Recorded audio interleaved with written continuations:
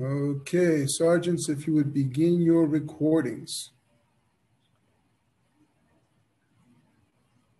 Okay, so recording is up. Cloud recording is underway. Backup is rolling. Sergeant Jones, please take us away. Good afternoon, everyone, and welcome to today's remote New York City Council hearing on the Committee of Sanitation and Solid Waste Management. At this time, would all panelists please turn on their videos? To minimize disruption, please place electronic devices to vibrate or silent. And if you wish to submit testimony, you may do so at testimony at council.nyc.gov. And again, that is testimony at council.nyc.gov. And thank you for your cooperation. And Chair, we are ready to begin. Thank you.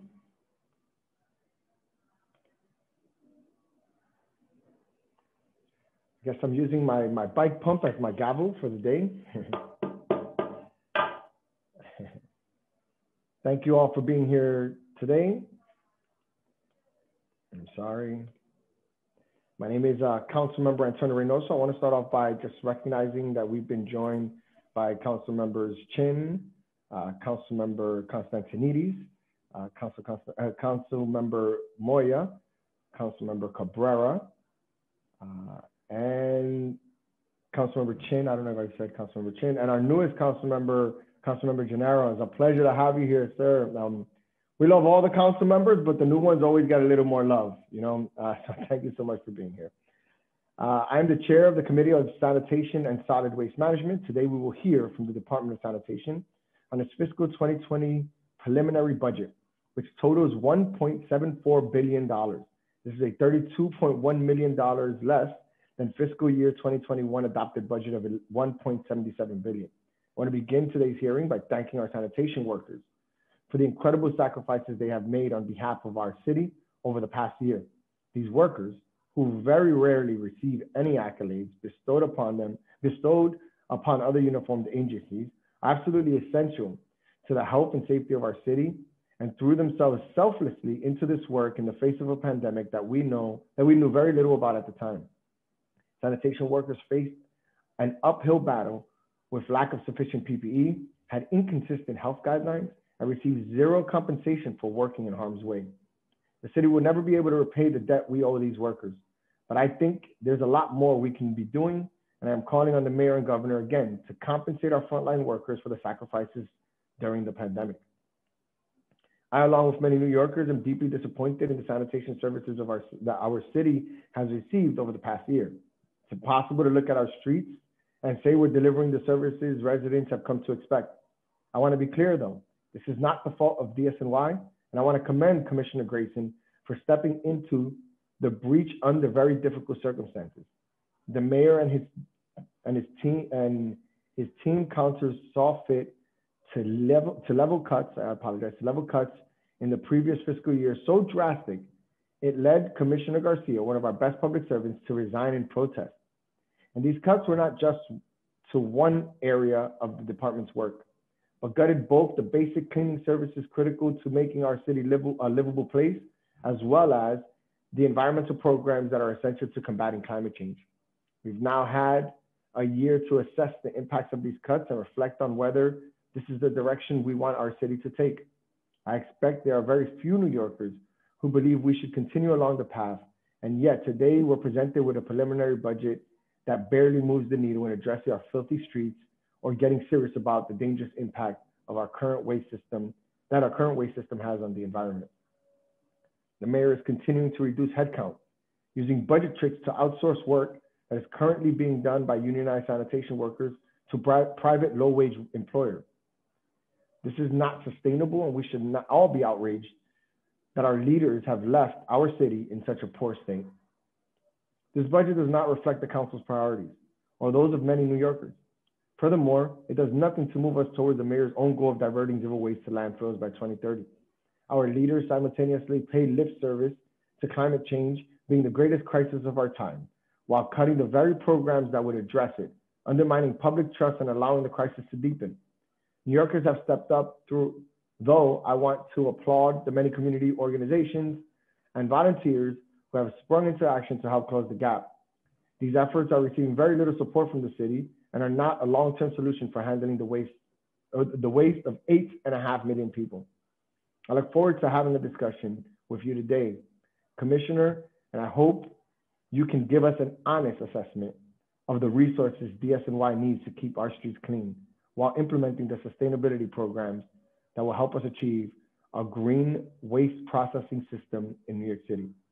I will now turn it over to our committee counsel to go over some procedural items and swear in the witnesses, and then we'll hear testimony from DSNY. Thank you. Thank you. I'm Nicole Levine, Counsel to the City Council's Committee on Sanitation and Solid Waste Management. Before we begin, I want to remind everyone that you will be on mute until you are called on to testify, at which point you will be unmuted by the host. I will be calling on panelists to testify. Please listen for your name to be called, as I will periodically announce who the next panelist will be. We will first hear testimony from the administration, which will be followed by questions from the council members, followed by testimony from members of the public.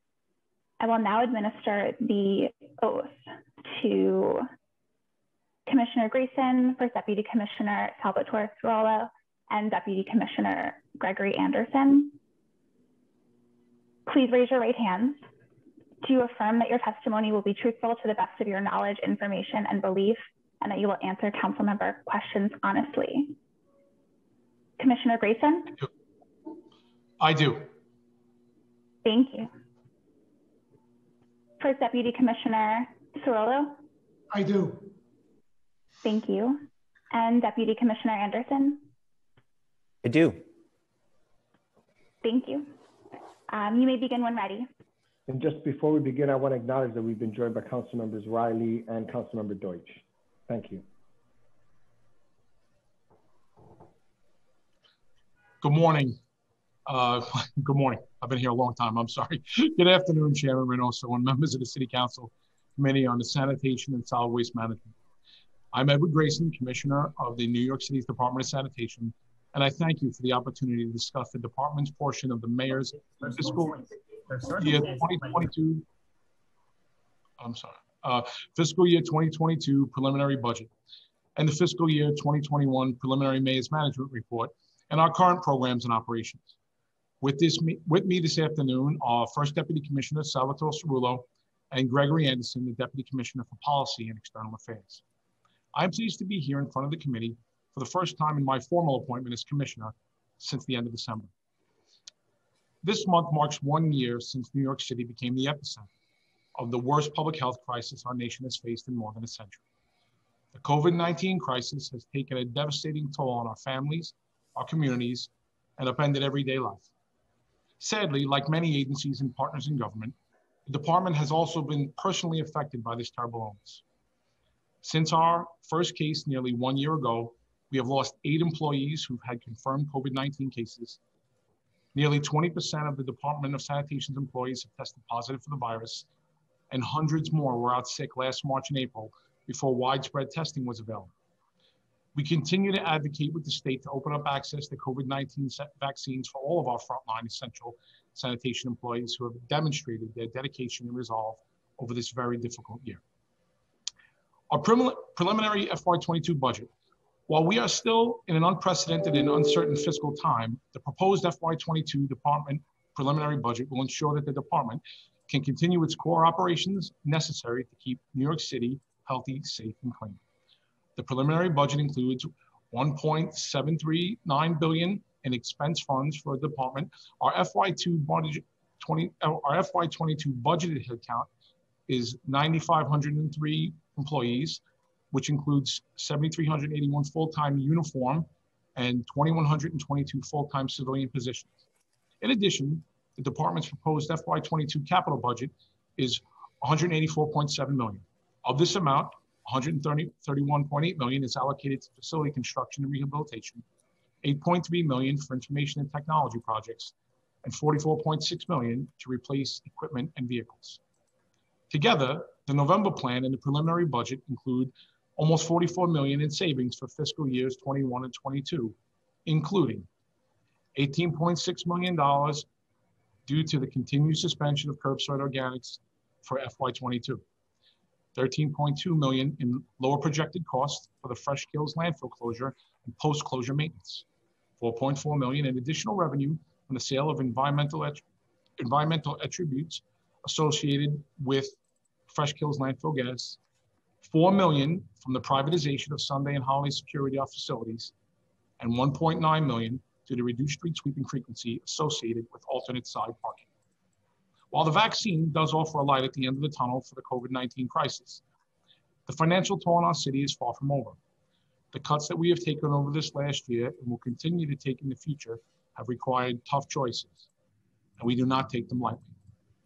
However, I am pleased to report that the FY22 preliminary budget includes funding from some programs that help us make progress towards the zero waste goals, including 2.2 million to reinstate our special waste sites and safe disposal events, and a full 3.5 million for our New York City compost project partners. I would like to take this opportunity to thank Chairman Rosso and many of you for your leadership and efforts this last summer to restore funding for community composting and food scrap drop-off sites. Snow fighting is a core component for the department's mission, and this critical work has come front and center this winter. National Weather Service observations in Central Park measured 26 inches in February alone, the eighth snowiest February in New York City recorded history. In total, we have activated for 12 winter weather events and received a total of almost 39 inches of snow so far for this season. And there's still a few weeks of winter left. I'm proud of the dedication, resilience, and perseverance that our workforce has shown, working long hours on split shifts for more than three straight weeks. Our employees and their families are true public servants. We know that every snowstorm brings its unique challenges, yet despite our headcount reduction this winter season, I believe the men and women in this department, as always, rose to the occasion during each of these snow events to ensure our streets remain safe and passable. I know the tough and often brutal conditions they face each storm, having been out there myself earlier in my career, and I cannot thank them enough for their service. To date, this winter season, the department has used over 450,000 tons of road salt, 520,000 gallons of calcium chloride, and 202,000 gallons of liquid brine to de-ice the city's roadways. We also have about 217,000 tons of road salt on hand at our 43 sites citywide and contracts in place to deliver an, an additional 279,000 tons if necessary. While we hope that we are out of the woods for the remainder of the season, we remain ready to fight whatever Mother Nature gives us for the rest of March. The current FY21 snow budget is $1.14 million, uh, $101.4 million, I apologize. And the preliminary FY22 snow budget is 89.9 million. At, at the cornerstone of the city's long-term solid waste management plan, the city's comprehensive is, is our solid waste management plan. It calls for the creation of eight rail or barge based transfer stations together with the use of existing energy from waste facility in New Jersey that shifts waste export, export from long haul trucking to a sustainable and reliable network of marine and rail trace, transfer stations equitably distributed throughout the five boroughs. Today, all nine long-term facilities are fully operational, and the plan has reduced truck traffic associated with waste transport by more than 60 million miles per year, including more than 5 million miles in and around New York City. It has slashed greenhouse gas emissions associated with waste transport by more than 34,000 tons annually, and has created a more equitable distribution of waste management infrastructure in New York City. These nine facilities also create new waste transfer capacity that has allowed the city to permanently reduce permitted capacity of privately operated transfer stations in historically overburdened and minority communities, predominantly located in three neighborhoods in Brooklyn North, Southeastern Queens, and the South Bronx. In accordance with Local Law 152 of 2018, New York City's Waste Equity Law, the department implemented reductions in its permanent capacity at 22 transfer stations in overburdened communities in the 12-month period ending September 30th, 2020. The reductions implemented pursuant to this law cut permitted capacity in these communities by over 10,000 tons per day. The commercial waste sector also plays an important role in achieving our zero waste goals.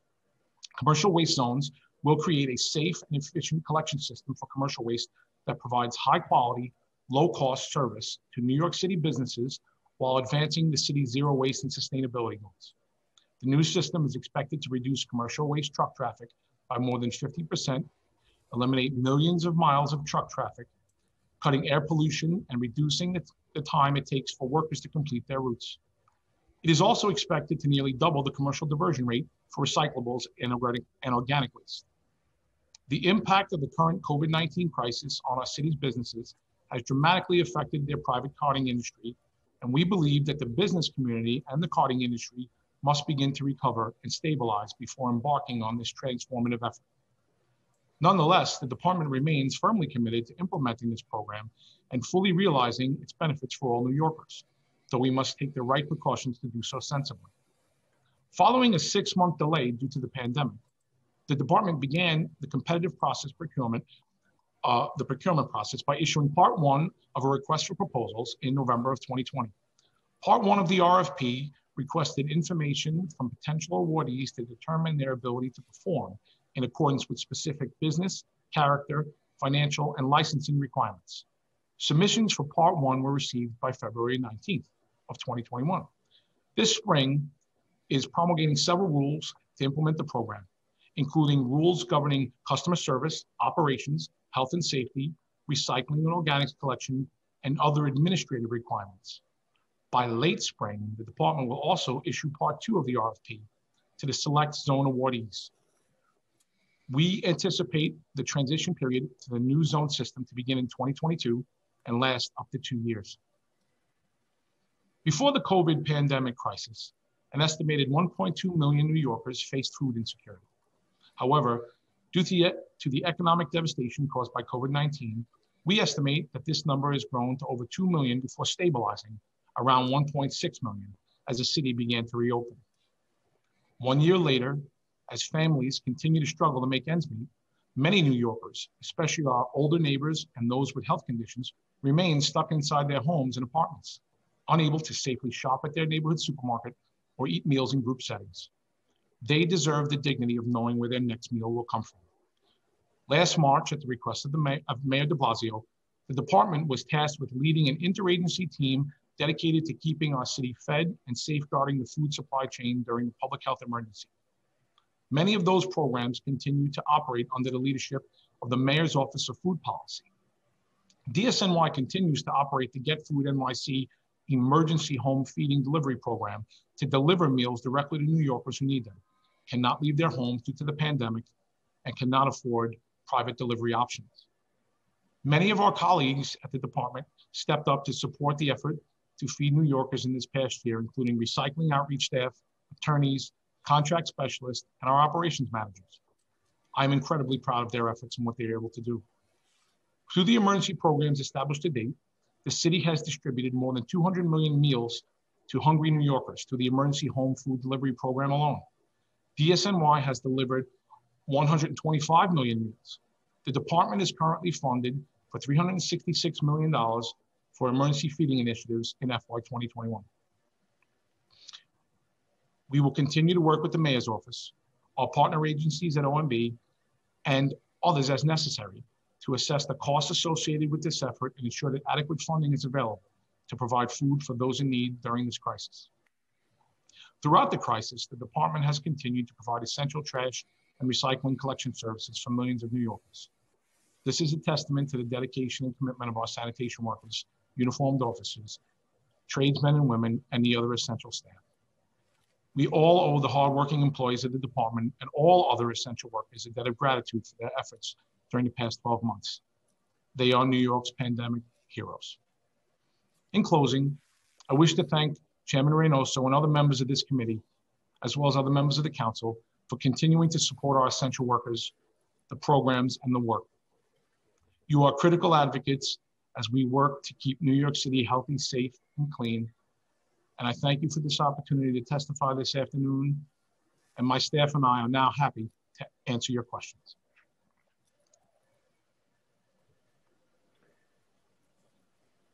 Thank you, Commissioner Grayson. I'm going to ask uh, a few questions uh, to give time for my colleagues um, so they won't have to sit here for a couple of hours.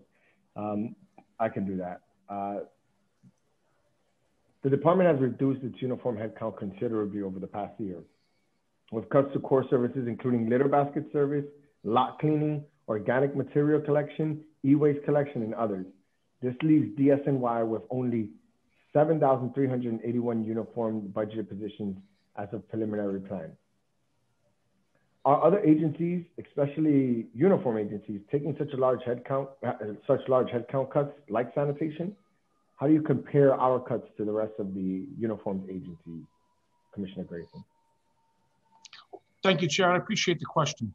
Um, we have definitely saw the headcount reduction, and I know, and you're ver fully versed in where those uh, services were reduced that corresponded with those headcount reductions. Um, at this point in time, I couldn't tell you how we are in comparison to other large agencies and uniform headcount agencies, as I'm not fully familiar with all of their programmatic needs. But I can tell you that the cuts that we have seen that you've referenced are still in place, and we are trying to build a plan to adapt to that headcount moving forward. And are we going to get a, a, new academy class? Are we looking to hire uh, uh, hire our headcount? Um, I guess at this point, Commissioner Grayson. Um, I'm still working with, and so is my team. We're working with OMB uh, on the timing of classes and the feasibility of classes and the reality of the budget. Uh, that's why we. It's good to have these hearings. It's good to to air all this out. At this point in time, we're still working with the administration to figure out what services we are still moving forward with and what a hiring programmatic will be. I can tell you that from the department's purview, we are definitely interested in the hiring and the process of hiring as we work with external challenges such as our employees, our frontline workers, our sanitation workers, our critical service providers who are the first line of defense.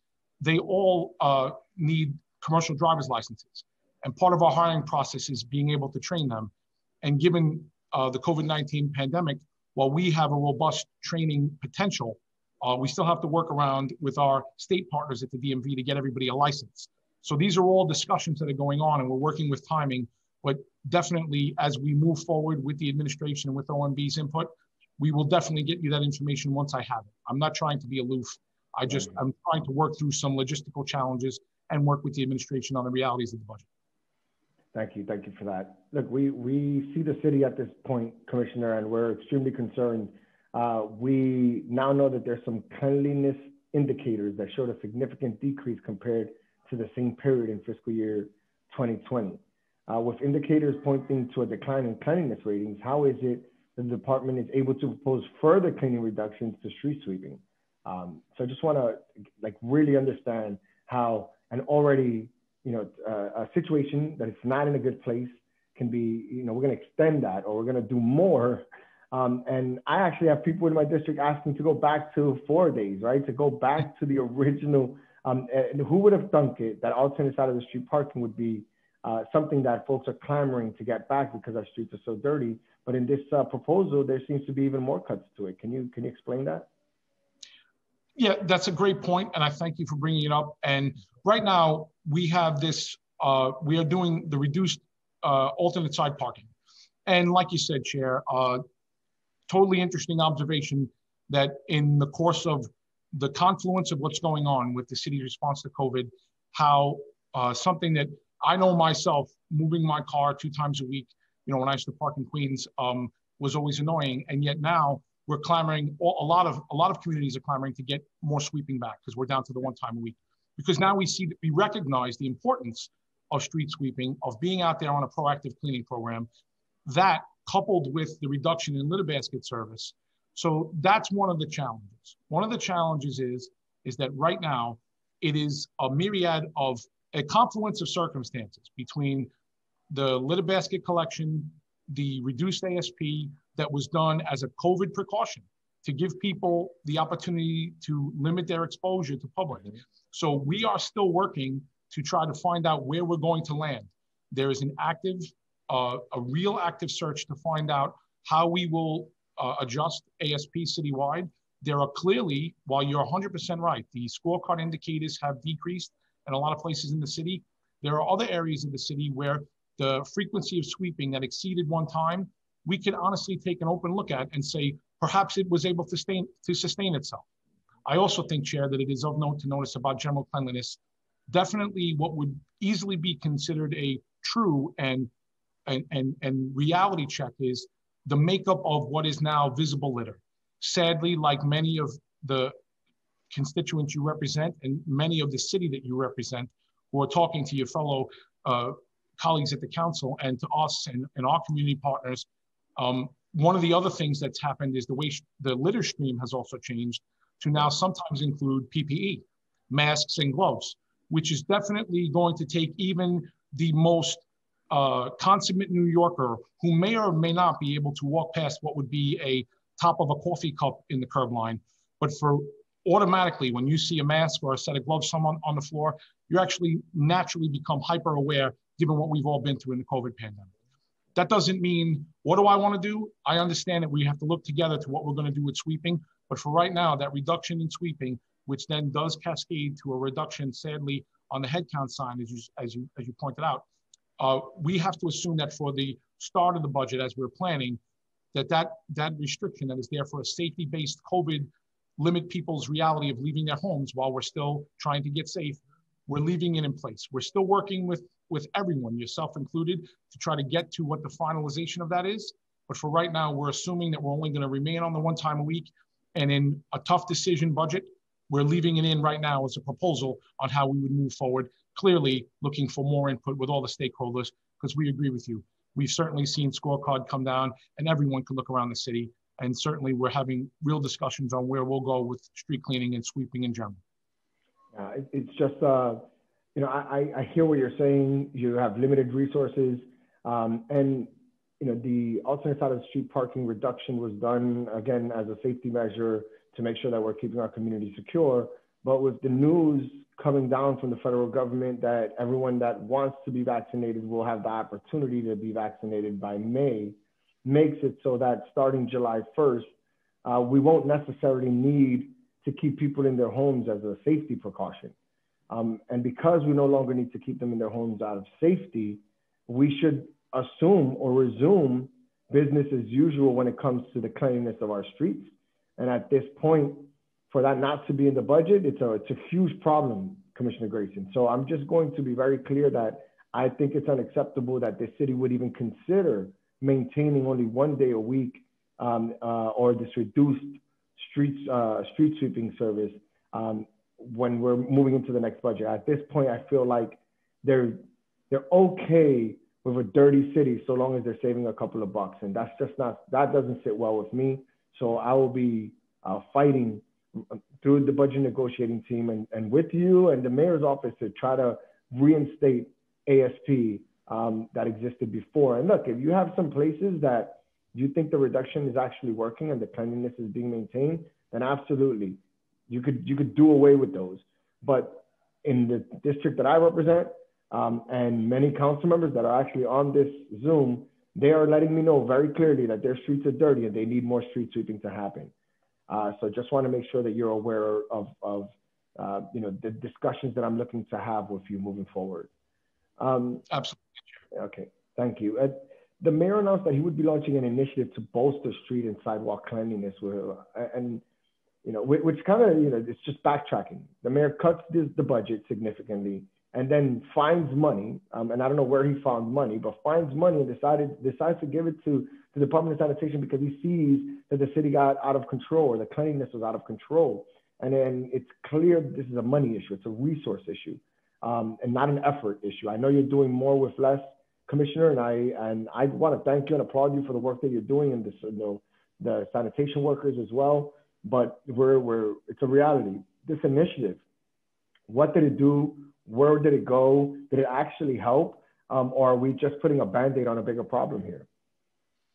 Um, Chair, uh, you're not, uh, just to be clear, the, the initiative we're talking about, is that the, what he said at the State of the City with the expanded funding for the 10,000 um, and possibly bringing on additional community-based resources?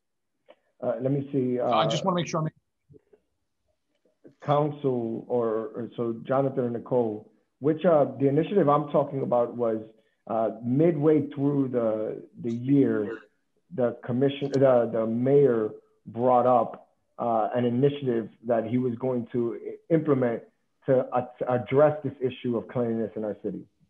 Uh, okay, thanks. Okay, I got, I got you. I got you, Chair. Right. Okay, Thanks. so that, that mid-year, um, that midway restoration was for us, for DSNY, was, uh, the restoration of a, a set number of basket trucks that had been restored that had been previously cut. Uh, and, and, and the last time, and when we spoke last at the, you know, the last time you chaired this committee together to talk about street cleanliness issues, uh, we, in that, we talked about how those basket trucks had been put back to the places that were heavily targeted uh, at that time by COVID-19, and that we were looking at the metrics on street cleanliness um, and in that in that service restoration. There was also a component of that to engage community-based organizations to potentially come out and help with street cleaning. Um, to the effect that that happened, we have not coordinated that effort.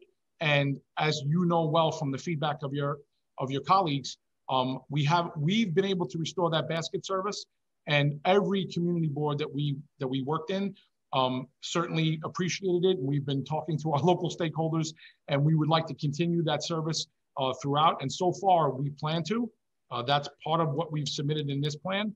Uh, we would definitely look to expand basket service if there's any way that funding could, and we're, we're continuing to work on what funding will become available um, to, to do that. But as far as the, the, the community-based cleaning that would come in through private organizations, um, that has not materialized for us. So I cannot give you a metric on that. So um, I'm going to allow for my colleagues to ask, ask questions now. I just want to end my uh, my first round of questioning with uh, a dirty city is a public health crisis in itself. Uh, while I, I agree that we're dealing with COVID and we have to be very smart about how we're how we're budgeting, considering the crisis we're in, uh, the Department of Sanitation should be one of the few departments that it should have been spared or uh, we should have had a, a, a, more, a more nuanced conversation about how these cuts would work. Uh, just a reduction in service is not an appropriate, uh, an appropriate action during a public health crisis that can now bring about another public health crisis. Um, I'm, I'm very, I was, oh, I was disappointed with the cuts that the mayor was making because I thought they were just, uh, there was no, no review. There was a, it was just a slash uh, to, to, to, to meet a goal as opposed to really understanding how our city moves and how our city operates. Uh, the Department of Sanitation has been doing a great job, and it's because it's been well resourced. Once we start cutting that, we dive into a, a bigger problem. So, uh, look, I'm looking forward to having a, a, different type of conversation than last time.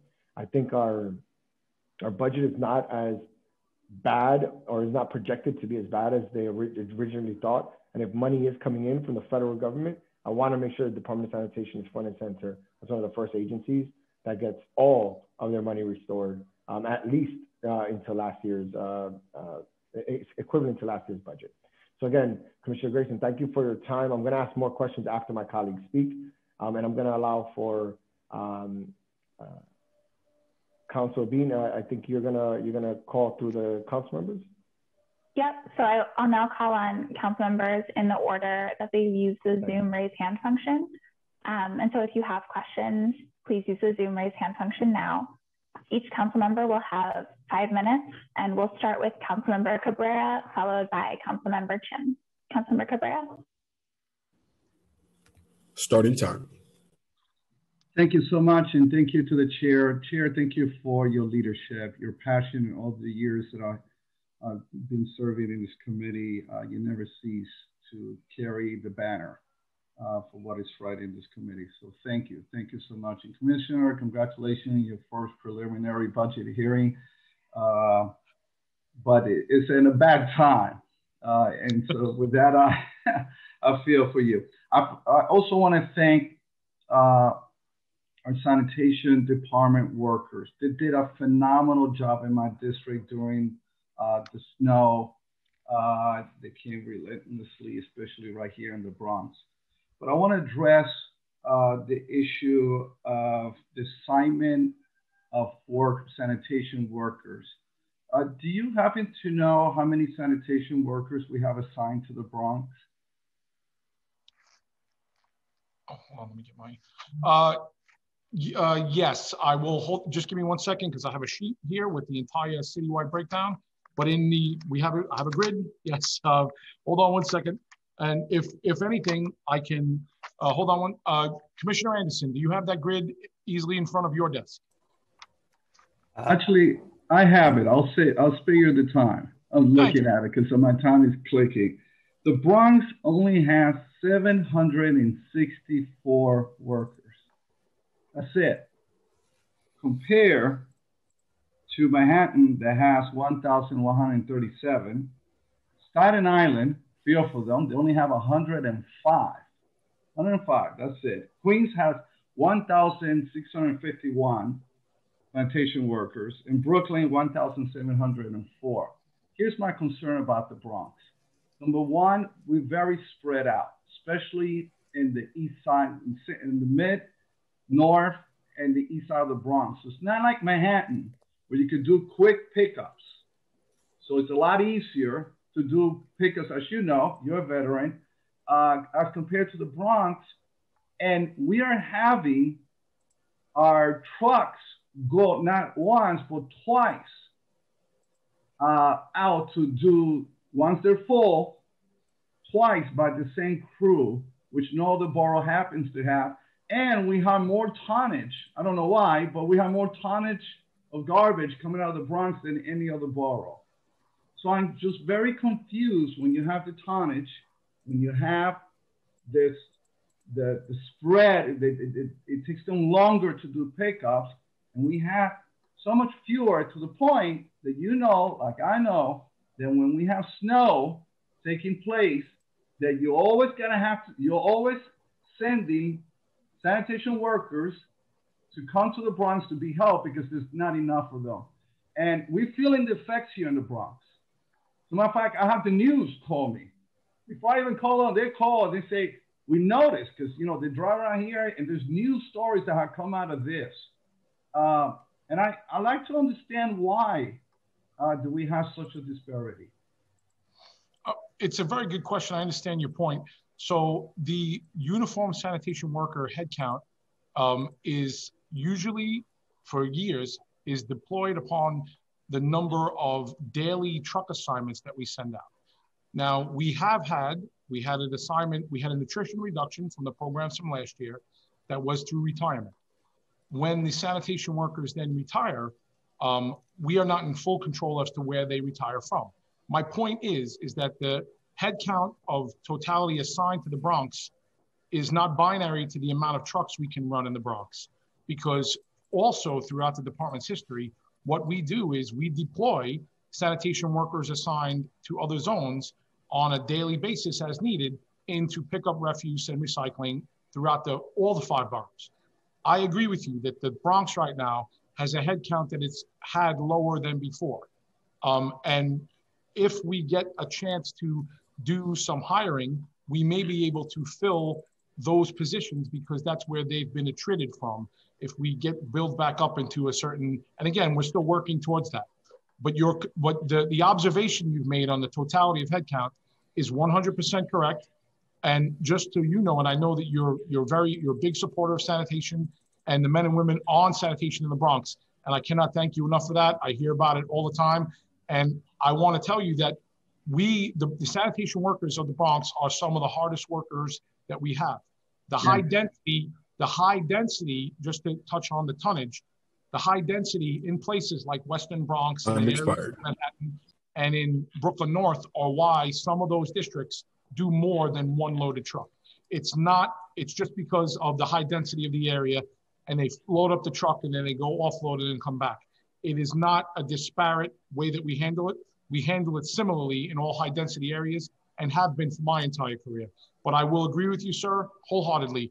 Hardworking men and women in the Bronx, and I totally understand your your your your point here today that when we get into a chance of reallocating resources and moving headcount around, that we should be looking at the Bronx. Totally understand. Mr. Chair, 30 seconds. Yeah, absolutely. Thank absolutely. you so much. So uh, if there is high density, it would seem to me, and thank you, Commissioner, for acknowledging uh, that, that we're having difficulties here. But if we have a higher density, would, it would seem to me that we should assign more trucks. I, I, am a little confused, and, and maybe the chair could explore this because he'll have the time. Why the NYPD, if they see they need more police officers, they're able to dispatch them and assign them on a permanent basis there. Why can't we do that when we see that there's such a great need here? And I'm with the chair that one of the last places we should be cutting, and we, we have to call attention to the administration, is with the sanitation workers. We need them. This three to one attrition is not going to work with the sanitation department. And I know you're with me, and I know you can't say that out loud, but myself and the chair, and I know my colleagues will say that out loud and help you out in that respect because uh, this this is a health issue at the end of the day. This is this this is this is a concerning issue. It's a quality of life issue that many of our constituents are complaining. I never had so many complaints in all the years I live in the Bronx since 1988. Never had so many complaints about the garbage uh, situation. It's just bad. And I know you just got in. I'm sorry you have to carry now this leadership, but you're it. And so with that, I'll run out of time. Thank you, Mr. Chair. I really appreciate the time. Thank you, Commissioner. Thank you, Councilman Cabrera. If you have any other questions, uh, we'll have a second round if necessary. Thank you. Thank, Thank you. you. Really appreciate that. Now we'll hear from Councilmember Chin, followed by Councilmember Brannan. Starting time.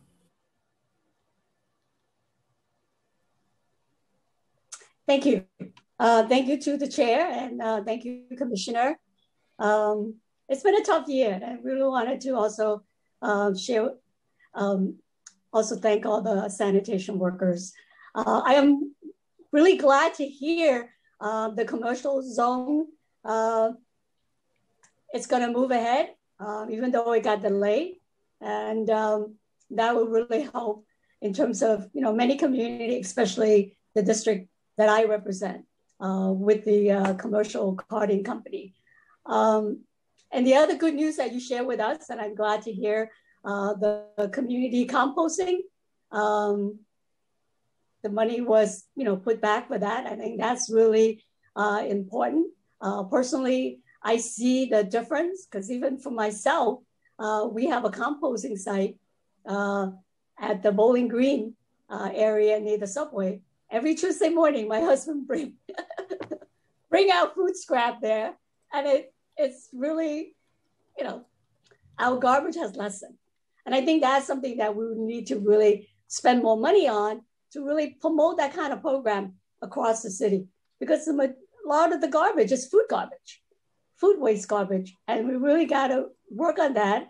And so that's something that we have to continue uh, to fight for more money. The other thing is that uh, that I agree with the chair is that there should not be a budget cut because the whole thing with collecting garbage, especially in certain area, um, like where I represent, where the streets are very narrow, but the residential population is growing. So every day you walk by tons of garbage during garbage pickup day, the next day, and in the evening, garbage are out. And with the recyclable, it takes up the whole block. And you know, my constituents are asking for more pickup, but we have budget cuts. Uh, we, you know, we're just hopeful that it doesn't the the pickup time doesn't, you know, get less, but we definitely need more. And those programs are really um, important.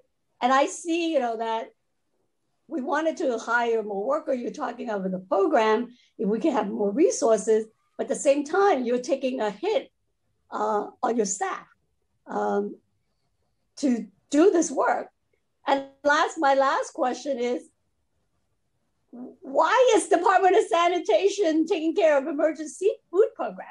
I know, you know, Commissioner Garcia Dazar, she was in charge, so that's why your agency, you know, got involved.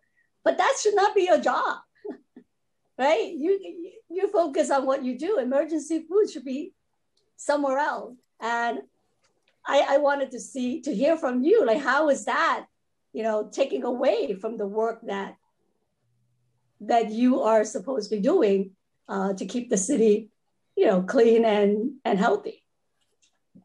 And can I just uh, follow up with that, uh, uh, Councilmember Chin? a lot of the but this budget is being cut 33 about 33 million this go around but a lot of that is it's a it's a funny numbers game because we're getting an increase in money for food work yeah right which is being attributed to the to the cut here or to the increase um, so in reality there's a larger cut to sanitation services than we can even see that is being um, is kind of and, and not intentionally but it's being hidden by the increase in the amount of money we're getting for the food work so the Department of Sanitation's budget is actually being cut a lot more. The service portion of it is being cut a lot more. So, uh, Commissioner, if you could uh, answer those questions for Councilmember Chin. Absolutely. And Councilmember Chin, I, I appreciate the question. Um, I'm going to start with the last one first and just say that why you're you, right. First off, I am not the food czar, and it's a great question.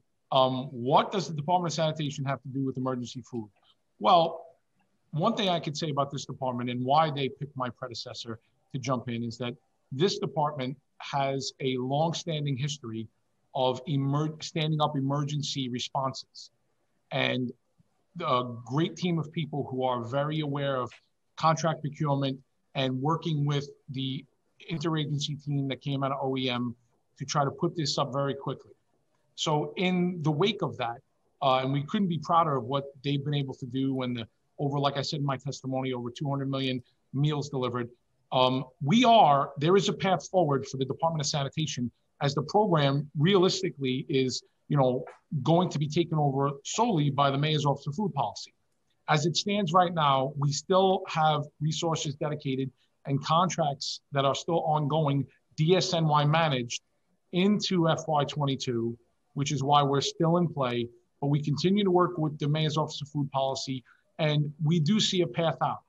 I want you to know that our frontline staff, the men and women uh, picking up garbage uh, and, and recyclables and plowing snow, at no time did they take their eye off the ball of what their core function was to deliver food. We did ancillary support with some of the frontline workers just with transporting and helping out. But for the most part, this was our incredible team of administrators, lawyers, contractors, the incredible staff of the recycling unit that we have in sanitation uh, who stepped in because the recycling programs had, you know, scaled back with what was going on with the budget. And we can't thank them enough. And I think that that's why we're involved in food.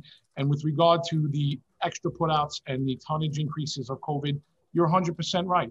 We saw tonnage go up. We saw people change their behavior at the curb and how they set it out, particularly as people had more deliveries or had more boxes to put out and stops got bigger. And the sidewalk space, particularly in your district, certainly becomes a scarcity on a collection day with all this extra material out.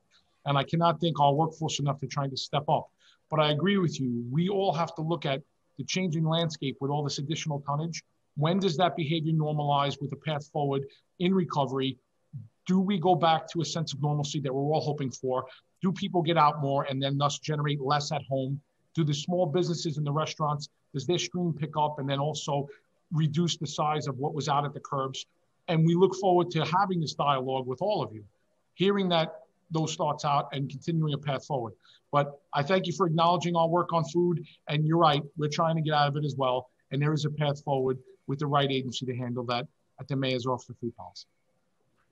Well, yeah, I mean, and I because I chair the Committee on Aging. I want the money back for our seniors to the Department for the Aging. you know, that's one thing. But the whole thing with the recycling program, I think like there needs to be more resources allocated to that because I don't think that that's going to change. People are still going to order a lot of stuff online, and those boxes, we need to make sure that they're compressed. I mean, it's like recycling program needs to expand, and the organic program. I mean, that's the future. We're talking about climate change. We got to do that, we got to put the the money uh, into your agency to make sure that you can fulfill this mission.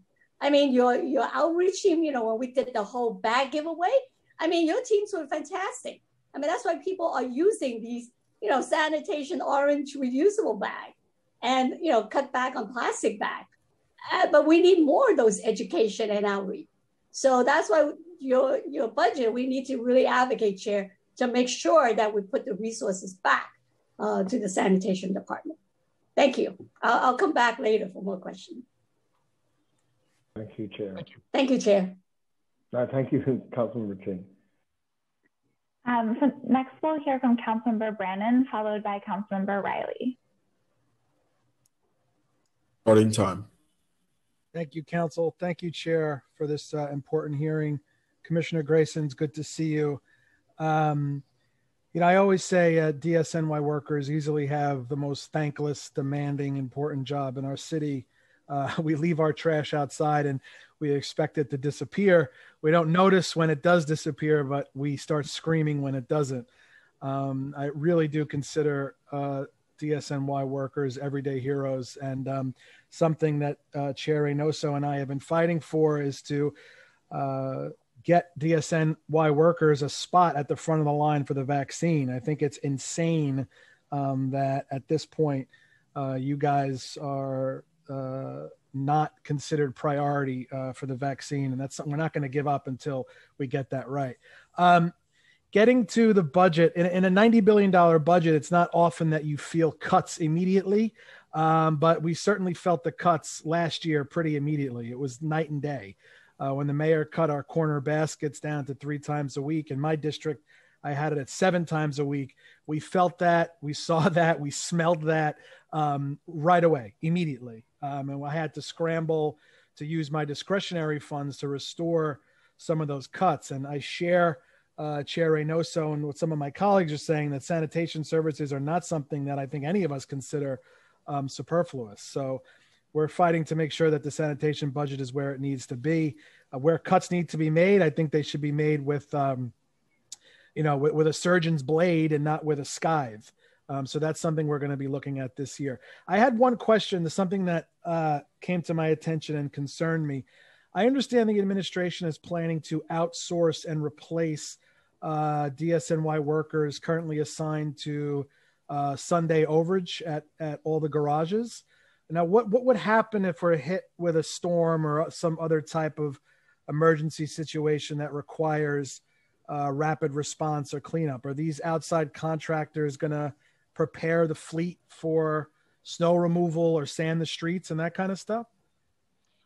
Thank you for your question and your support. Um, no. So right now we are we are working and, and trying to finalize a proposal, and as you saw it in, as a budget line item on a potential reduction. Uh, you know, in all the documents submitted for the prelim budget, that the posts that man are these are manned by sanitation workers that work at each one of our uh, garage locations would be uh, reduced and eliminated in some cases and replaced with the uh, citywide requirements contract uh, security staff. Those, uh, those that that potential option, those workers would not be able to take our trucks out, respond, and do some of the things that our sanitation workers who currently hold that role do for the city of New York. Okay, so what? How would that work then? If these guys are, if if if the administration wants to outsource these guys and replace the workers with who are currently assigned, would then your guys come in if something happened? How would that work? We, we would be so in that case, like responding to something that sanitation would normally be called to do on a Sunday, we would definitely be delayed in, repl- in responding. Uh, we may have to call uh, a, we may have a limited bandwidth, have to go do an investigation to see what resources would be needed, and then call in additional staff. So what I'm what concerns me about the proposal on response time from what we have is that our response would be delayed. However, we are still working with OMB on what the final so you know final construct of what the design is. That is looking at it line item uh, the post that watches the building, who also then does mixed and double use, being replaced with a with a security guard, and not from a private firm and doesn't account for any other personnel that we may bring in then on standby. So it is still a, a case in point, but your point is is more than than than heard. Right now, and just so I could address it, right now we would be delayed in responding to anything that happened on a Sunday if that plan were to go forward. And what are they saying? What would this what would this save the budget? Uh, right now, uh, the cursory analysis that's been done is that it would be $4 million in the budget. And the reason why it was included is because it is an overtime program. And while there are definitely challenges to work out for implementation to make sure that we have some continuity of coverage on Sundays, uh, it doesn't impact direct headcount. So it was a list of, it was part of the list of various DSNY programs that wouldn't further reduce our headcount. Okay. I'm expired. Yeah. Thank you. Yeah, I mean, obviously, I'm not in love with that. I understand we need to tighten our belts a bit. I mean, four million dollars in a ninety billion dollar Dutch budget when we start start um, you know standing on the the edge of outsourcing stuff is really um, something we, we need to take a serious look at. So, but I appreciate it, Commissioner. Thank you. Thank you, Chair. Thank you. Thank you, Councilor O'Brien. I just want to thank Councilor O'Brien for helping lead the way to recognize the front uh, line uh, work that is being done by the Department of Sanitation and the fact that they're not allowed to get the vaccine at this moment, I think is extremely disrespectful and unacceptable. So thank you for taking the, um, the lead on that, Councilmember Brannan. I'm happy to, uh, to be partnering with you on that. Um, and I believe it's uh, Councilmember Riley, it's your, your turn to ask questions. Thank you, Chair Reynoso. And I, I, believe my question was answered. And I appreciated uh, Commissioner Grayson. We had an amazing conversation uh, regarding uh, the quality of life issue that the, that's going on, um, especially after the pandemic. Um, and, and, sanitation, I think we need to reimagine um, how we view our sanitation workers, especially um, during this pandemic with the upkeep of trash in our communities and, and the lack of resources that you've you've had um, during this pandemic and, and how hard you guys have been working. So I thank you so much and just wanted to put that out there. My question was answered already, Chair. So thank you so much for giving me time to talk. Thank you, Councilman. Thank Ryan. you, now, now we'll hear from Councilmember Deutsch. Starting time.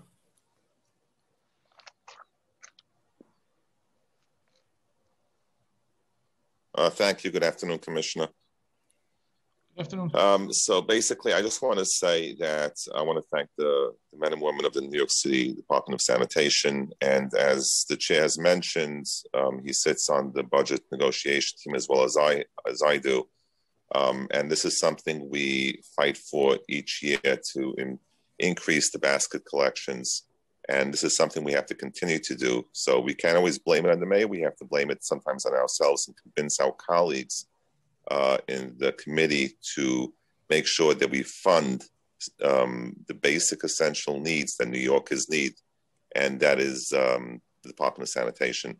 So we have to continue to to fight the good fight and to to try to see what we can do. But I only have one question. I want to say that you, are doing a good job um, um, having oversight on the Department of Sanitation and as well as the food distribution. So I have my question is, can you take over the vaccine rollout? Uh, thank you very much. Uh, thank you um, for those kind words. Uh, I, I, I cannot. Um, and it's not that I, I, have, we, we are, I am committed wholeheartedly to being, uh, doing everything I can to serve in this role. Um, however, uh, I think that there is some incredible people who throughout city government who've done an amazing job trying to meet all the needs of the pandemic. But Councilman, I, I appreciate that. That's a nice thing to say. I appreciate it. Thank you very much. We're going to continue um, showing our support uh, to, to the Department of Sanitation. Thank you. Next will be Councilmember Chin. Starting time. Yeah, thank you. I just had a couple of questions about capital. Um, I know that now with all these out, outdoor cafe, it's very hard for the sanitation department. You know, the truck is so big. So are there going to be some more investment in terms of smaller truck, electric truck um, that would help the environment? Is that part of your capital plan? Great question. Right now, our current capital plan uh, is for the replacement of equipment. We are continuing, now that's a broad statement, but we are continuing to, to look at how to meet the new challenges of the streetscape, i.e., and we've all seen it this year with the change in the way the streetscape is, trying to get some smaller pieces in. I know that this committee and all of you have championed our ability to try to get some smaller pieces, particularly for snow fighting as we look at the new bike lanes and the new mm-hmm. smaller spaces, and as we yeah. all try to figure out the landscape of the city and what it will be if outdoor dining and structures and the entire way it all changed that we've all been growing through together. So while we do have, we clearly have a capital budget uh, that includes, as I stated in the testimony, money for new equipment. We are continuing to work with and trying to make sure that we right size the best usage of that. For right now, we are looking for replacement vehicles to keep our fleet current.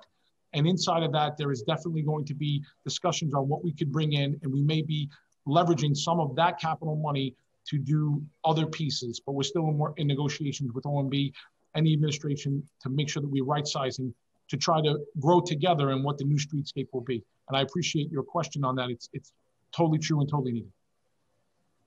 The other thing is that I didn't get a um, answer back in my original question. Uh, I guess the the whole um, organic waste collection um, and composting, or I mean, we've got to be also planning for the future. Uh, so, are there you know, things in place that help us, you know, expand this program? I mean, last year was totally, you know, cut because of the budget, but we just can't allow that to continue to happen. I mean, that, that program, you know, the organic waste program needs to expand, especially, you know, how do we get more the apartment buildings to participate in these programs? Because that is a huge amount of waste that's in the, the regular garbage that could be separated out. Oh, it, and and I, I, apologize for not. I, I kind of I guess I went long on my last answer with you, but yes, um, uh, I agree. We are committed to moving forward as a future, and we definitely need to have an organics waste, a robust organics waste collection program to meet the zero waste goals and to be the sustainable city of the future. Everything that that we've talked about in this committee, what the chair supports, what all of you have been supportive of. Um, there is no curbside organics program funding in the FY22 plan. Uh, we it's it we, we do not have any resources allocated to that. We were able, thanks to the support of many, to restore funding for the community compost, which, like you said, that that is a that is something that we have to, in the limited pool of resources that we had to go to, we definitely wanted to continue to work with our community partners, people that we've had relationships with for decades, to try to get that that ball going and keep it running. And we definitely want to support what we can with food waste drop-offs and community compost partners. That's where our bucket is. But I agree with you wholeheartedly. We didn't. We do not. This budget currently does not have an organics program built in for curbside, you know, pickup and or that high-rise building program that was in Manhattan and in parts of the Bronx, you know, in the previous year. We do not have that, and we need to build a path forward. Hopefully, if we get federal stimulus money, if the city does rebound, we can get there for right now, we're playing to what we what we believe our state of affairs will be, and without some kind of available resource pool, we're not going to be able to expand that into 22. We have to play on those. Those are the tough decisions that a lot of agencies had to make, and we're moving into FY22 with the continued suspension of our amazing organics program that had over three and a half million New Yorkers on it, and was the largest in the world before we had to suspend it because of the pandemic. And what, what's the amount of budget? What's the amount of budget for that? Uh, almost $19 million. $19 million out of a $92 billion budget. 19 million. And I, I understand. Okay, that's good. We, we need to advocate for that because that needs to expand. I mean, we're talking about zero waste and climate change and and we're cutting this program. And as you mentioned, it was very successful. We were looking forward to expanding it, and then it was cut. So, Chair, we got to work on that. Thank you. Thank you, Commissioner. Thank you. Yeah, it's, it's unfortunate that um, I feel like this administration has, uh, you know, abdicated its responsibility to zero uh, to zero waste a long time ago, but to um, uh, to climate change and understanding what we need to be doing to, to ensure that we're fighting against um, the, the, changes that are happening in our in our country or in our in our planet. It's just that uh, you know I was concerned about how long it took for us to move forward with the program for organics, and then this happens, and then it gets completely gutted. Um, I, I feel like um, COVID gave the administration an excuse to move away from a uh, initiative that it never really supported in the in the the first in the in, in the first place. Uh, now, I want to be clear that the position of the Department of Sanitation has never been that.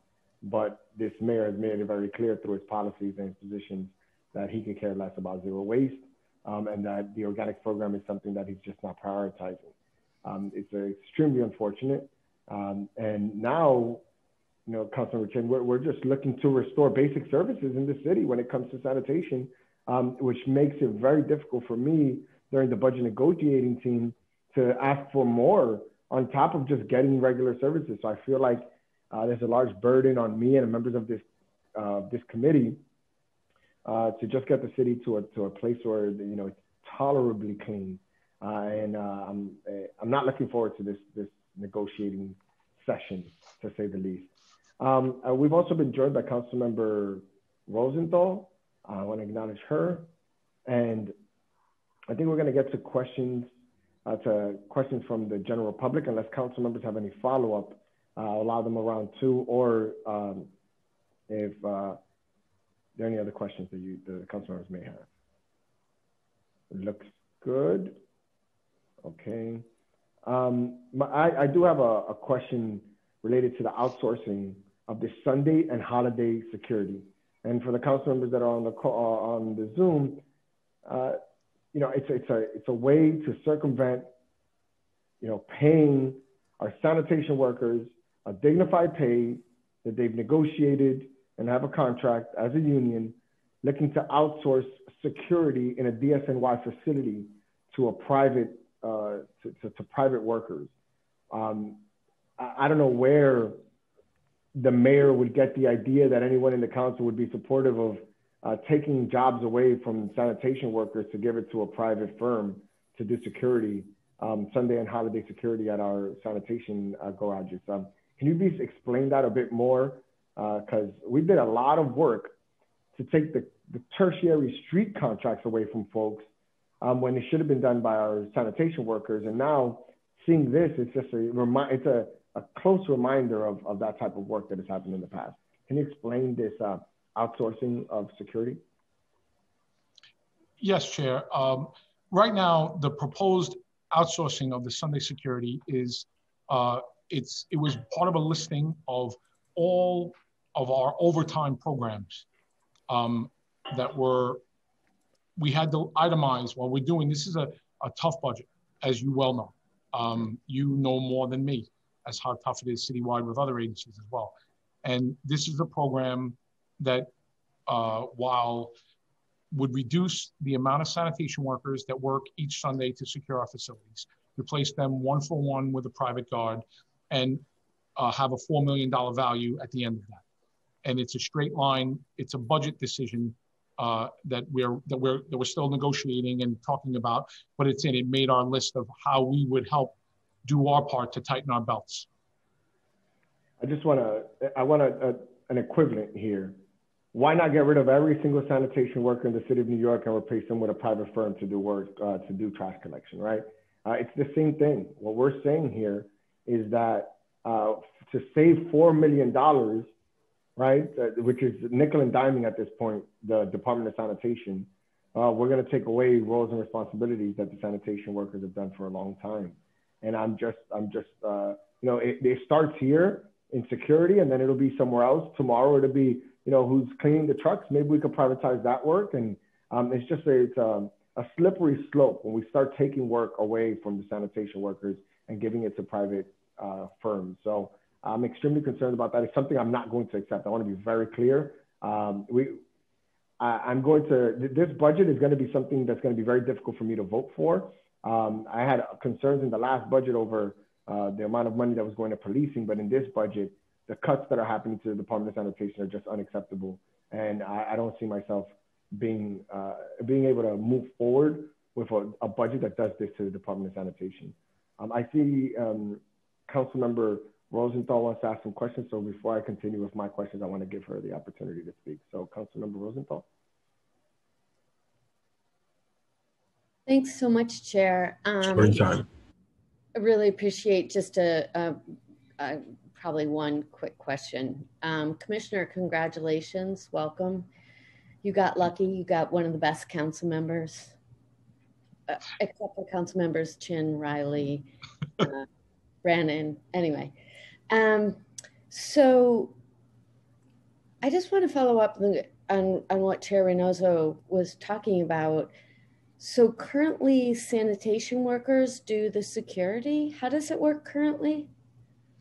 Well, currently uh, for, so Sunday, we, in addition to some other ancillary cleaning functions that are, uh, you know, some, some, there are some litter basket collection trucks that get dispatched, but our facilities, our sanitation garages and our dispatch locations, uh, up until now, up currently right now in the current program, we have a sanitation worker who mans that facility uh, or, you know, covers the shift and he or she would do perimeter sweeps, make sure that the trucks are secure. They have a listing of duties and responsibilities and they would be the first if we had to dispatch someone on a Sunday evening, so to speak, to go address an oil spill because of a motor vehicle accident or, or something, like they would be our first responder, so to speak, out there in conjunction with some of the supervisory staff. That's what that's what we're talking about. Okay, and um, just very bluntly, are those union positions or management positions? Uh, they are all covered by collective bargaining. They're all union jobs.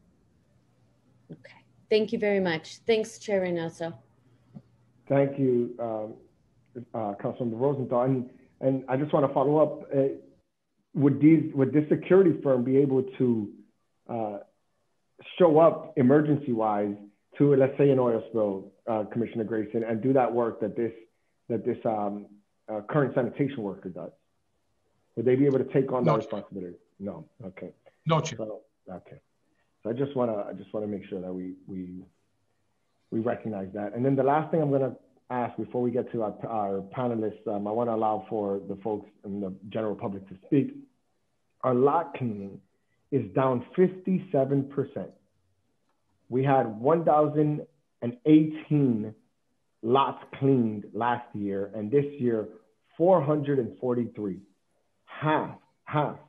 Uh, and a big part of this is just the sight, right? It's just everyone seeing all the garbage everywhere, including in these lots. Um, you know, what, what is the what is the current response time? I guess how long does it take if I report a, a lot that needs to be cleaned? How long is it taking this year as opposed to what it took last year? I just want to know the difference between uh, length of time uh, as to like what what somebody did in 2020 and what somebody's doing in 2021. Uh, so we are definitely seeing a lag. Uh, Chair, you're spot on with you know, and we've seen it. So it's you know, the, the, compounded with the fact that we reduced the unit in the last go around. Um, you throw in the pandemic, with which also you know curtailed us some of the administrative functions with particularly with cleaning the private lots where we need a writ and you know there's an entire administrative process to go onto private property to clean something up so compounded between the cuts and the delays we're probably up, I believe it is about 20% of a increase in, in, in lead time. We used to be able to soup to nuts get those lots cleaned from start to finish in somewhere around you know 60 or so days, and now we're closer to 80. 80. So I, will end it with this. Um, Commissioner Grayson, what they're doing to you is unbelievable. The fact that they would want us to operate uh, uh, the sanitation department under these, you know, vicious cuts, um, and continuing to have them, and then have you sit up here and have to, you know, speak on how you're going to do more with less, um, is just uh, it's unfair. It's uh, and it's not something that I think this council is going to stand for, um, especially just because you guys have done done it gracefully and professionally, uh, including the snow removal and just the trash removal. It's just uh, when you talk about departments that have done things right, this is one that we could always point to to be proud of. Um, and what they're doing now is, you know, jeopardizing that record or, or that reputation um, to nickel and dime, dime ourselves. So I'm, I'm so sorry that this is happening and we will not, we will not, I will not stand for it. I'm looking forward to our next fight with the mayor on this issue. And um, I think Councilmember Rosenthal has a couple of questions left and then we'll go into our panelists. Thank you again, Commissioner Grayson. Thank you. Sorry, it you just uh, this usually happens with us, Councilmember Reynoso. We each learn from each other. So, Commissioner, um, the people who do the Sunday security, have they ever had an incident? Like, do you have you know, like over the last year, there have been five incidents that they have had to respond to, and it's blah, blah, blah. Or, um, yeah, has that, has there, or have there been any break ins that they've had to deal with? Um, so that's a great question. Yes, we we definitely have uh, at least in, in we we respond to over a hundred or so incidents. Uh, you know, the, the men and women of the department who are working the Sunday security currently um, will go out, you know, for icy conditions, uh, to pick up a condition, to respond to an emergency, to help uh, assist PD with blocking an off an area, to respond.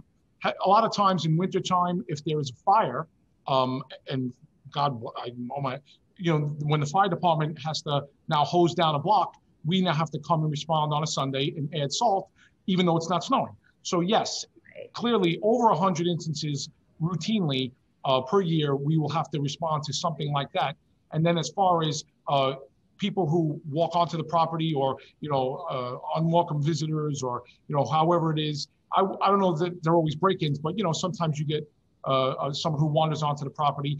Uh, we have had to engage them, you know, multiple times, you know, to try to make sure that they're safe, especially in the parking lots or the areas that we have that are not fully secured because we want to keep them safe because a lot of our trucks and equipment can be dangerous if you don't know what you're doing even when they're not started there's still things you don't want you know we don't we can't have people touching it they're not skilled they're not trained so councilmember reynoso i think it would be interesting for the committee to get those kinds of stats um, I agree. Every so every time step, but you know, to find out about those hundred or so, even if it's a draft, you know, that's why they use the word draft. It doesn't have to be exact, but you know, that sounds like two a week, which is not unsubstantial. Um, yeah, just yeah. Okay. Yep. Thank you very much. Yeah, we'll follow up. And Commissioner Grayson, you can do that and just uh, the type of incidents that they've had to respond to. Um, that, and I want to be clear, it sounds to me and obviously Councilmember Rosenthal that these are situational, a situation where we might not be able to respond anymore, where we might not be able to attend should we move this to private firms. Um, and if we are going to attend to them, it would mean that we're still using sanitation workers and are just spending twice as much money. I just don't understand managerially outside of someone that is not work, someone that is not from the Department of Sanitation looking at this budget line and thinking that they can cut it, um, or you know, you're being forced to do this. So um, again, I think there's a lot of a lot of nonsense happening here that we need to we need to get to the bottom of, and um, and we will. Uh, again, I want to be very clear, Commissioner Grayson, that I, this is not a reflection on you or the department. Um, uh, our frustration lies almost exclusively with the administration. Um, okay, so now, uh, thank you. So now we're gonna go to our panelists. Um, Council, uh, what is, Abina, yeah. are you, are you, you're gonna take I'm it away? Here. Go ahead. Go ahead. Um, so we'll now turn to testimony from members of the public who have signed up to testify. I'd like to remind everyone that unlike our in-person council hearings, we will be calling on individuals one by one to testify. Once your name is called, a member of our staff will unmute you and the Sergeant at Arms will set the timer and announce that you may begin. Your testimony will be limited to three minutes. We'll begin testimony with Tok Oyewole, followed by Justin Wood, followed by Eric Goldstein. You can begin after the Sergeant begins the timer. Starting time. Okay. Um, good afternoon. My name is Dr. Tok Oyewole, and I'm testifying on behalf of the New York City Environmental Justice Alliance. Founded in 1991, NIJA is a nonprofit citywide membership network linking grassroots organizations from low income neighborhoods and communities of color in their fight for environmental and climate justice. For decades, NEJA has led efforts for comprehensive policy reforms to address the disproportionate burden of New York's solid waste system on a handful of environmental justice communities the impacts of the solid waste system on, um, oh, sorry, yeah, the, the impacts of the solid waste system are greatest in a few low income communities and communities of color where truck dependent transfer stations are clustered, causing higher proportions of health consequences such as asthma, heart disease, and various cancers.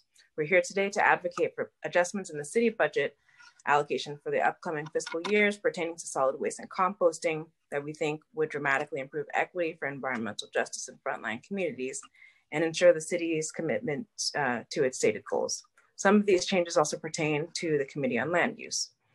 As our colleagues in the Save Our Compost Coalition uh, will share at this hearing, we're proposing a moderate budget proposal of $14.75 million for the upcoming uh, fiscal year for a few um, purposes pertaining to organics. Uh, that will gird us for full implementation of a mandatory organics collection and processing budget in uh, the subsequent fiscal year. The current request is inclusive of community composting and food scrap drop-off programs at 7 million, including compensation for this work, uh, zero waste schools at a million, multifamily building collection and processing pilot to implementation program, uh, inclusive of NYCHA at 2 million, an analysis of organics programs toward implementing citywide curbside uh, compost collection at uh, 250,000. Um, and you know that analysis ideally to be concluded by the end of 2021 and uh, municipal agency composting at a million. Um, and budget allowing, which I'll talk about shortly, uh, reinstating and expanding curbside organics collection. Um, today I'll, I'll highlight um, the creation of new composting sites and uh, others in our coalition will talk about other issues. So in order to compost the growing volume um, of food scraps generated uh, by the drop-off program and build capacity for localizing organic waste uh, processing and green jobs, the city should fund the construction of community composting sites throughout the city on parks and or other city land to provide equitably siting, uh, sited composting resources throughout the city. Even with limited drop-off sites compared to pre-COVID times, the current processing sites are facing capacity issues. Uh, currently, there are uh, a number of composting sites, I won't list now, but um, the city should partner with nonprofits to build community composting sites throughout the city with at least six new sites, two in the Bronx, one. Time expired. Um, I'll, I'll finish quickly by saying, um, you know, we should, uh, composting locally um, will enable us to save funds on exporting recyclable materials out of the city in the long term. Uh, we, we need to um, preserve Lower East Side Ecology Center and big reuse. And uh, I must say that even though we're not making a huge push for mandatory organics in light of the budget constraints, this will change if we're allocated federal funding. Um, we have until 2030 to curb greenhouse gas emissions to prevent global warming above 1.5 degrees Celsius. So we must advance bold and hard hitting solutions at every chance that we get. Um, and separate from organics, we're asking for 4 million for staffing of the commercial waste zones um, uh, law. Thank you so much. Thank you, Dr. Oyewole. Um, I, I, would say that um, Commissioner, or former Commissioner Garcia, who is not running for mayor, is actually using or stating that the uh, mandatory organics work would actually be a benefit to the city as a cost saving measure and a job producing measure and something she would implement should be, she become mayor. Um, so um, it's interesting what you know some some leaders think versus others as to what is a a uh, like a valuable asset for the city of New York. So very interesting. But thank you, Dr. Owale. Thank you. Next, we'll uh, invite Justin Wood to testify, followed by Eric Goldstein, followed by Phoebe Flaherty. Starting time. Hi, uh, thank you, Chair Reynoso and members of the committee and to the Commissioner and uh, Deputy Commissioners of Sanitation. My name is Justin Wood. I'm the Director of Policy at New York Lawyers for the Public Interest. Um, thanks for the opportunity to testify today and for your consistent leadership on the critical issues of racial equity, worker safety, sustainability, and green jobs in the city's solid waste system. We really no longer need to be here debating the clear and present danger posed by greenhouse gas emissions, including those from solid waste, which is fully within the city's control, unlike some other um, energy systems and things that contributed to uh, emissions. The recent extreme weather crisis in Texas and the Midwest is just the latest graphic reminder.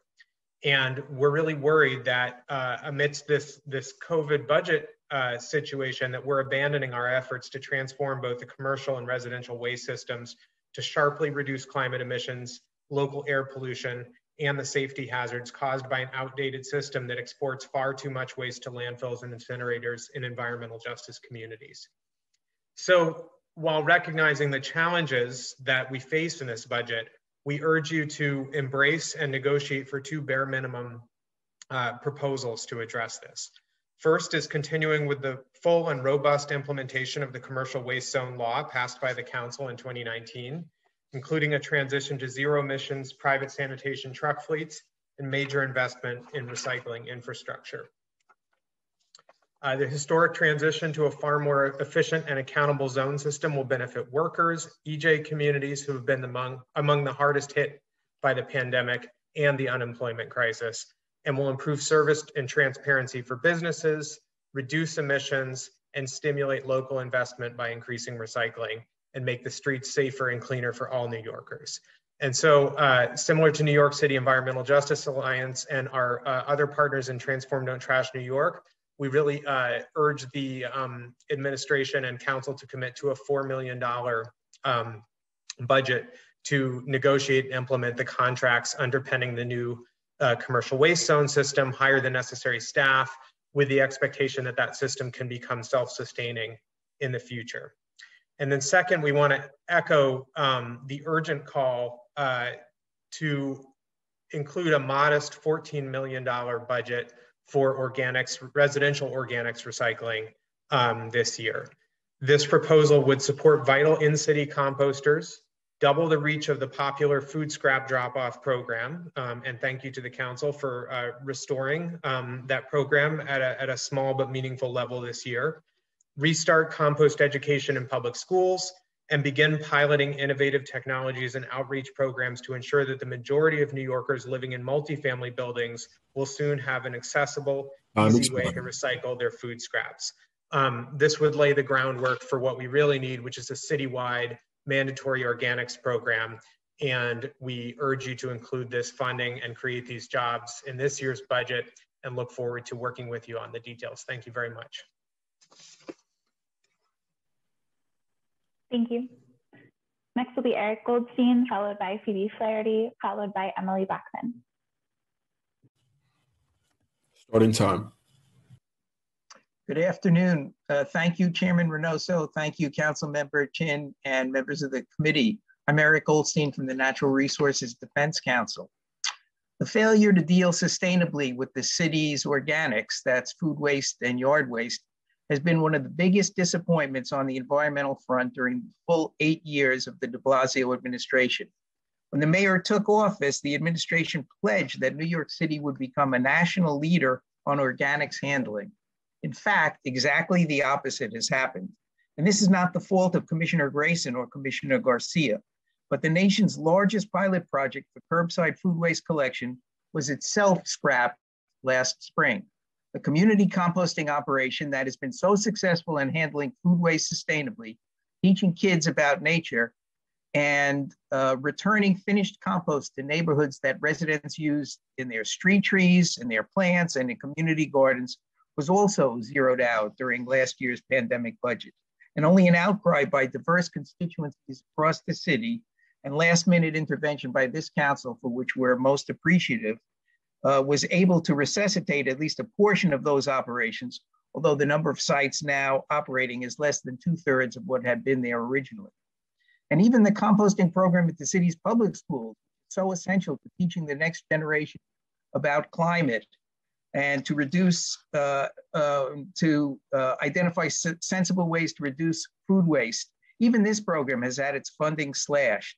In this year's proposed budget, the bad news for most of these environmental programs continues. Why is it so difficult for government officials, budget officials, to think and plan for the long term, even when the long term dangers and opportunities are so apparent? NRDC is part of the Save Our Compost Coalition. We join our colleagues in urging restoration of $14.7 million for all of these programs. Three in particular I'd like to mention. One is Grow NYC Zero Waste programs, which have been the mainstay of New York City composting since the very beginnings of collection at the popular green market sites. These have been some of the highest performing sites in terms of tonnage in the, in the entire city, but this whole program is zeroed out in the mayor's preliminary budget. Private funding is unlikely to be available and Grow NYC deserves and New Yorkers need the council to fund the Grow NYC operations and at the fiscal FY20 level, which was approximately $2.5 million. Second additional priority funding need is to open new community composting sites in underserved communities that still do not have convenient drop-off locations. Same uh, is true for NYCHA developments. This is simply a matter of fairness and equity. All New Yorkers have a right to convenient access to food waste composting, and the council needs to right this wrong by providing additional funding to establish and expand these sites. Finally, there's the need for restoration of composting and recycling at all New York City public schools, beginning in September when we hope and expect the schools will be back to more or less normal operations. It's so important to teach young children about nature and the climate crisis and to get them in the habit of separating their food waste from ordinary trash.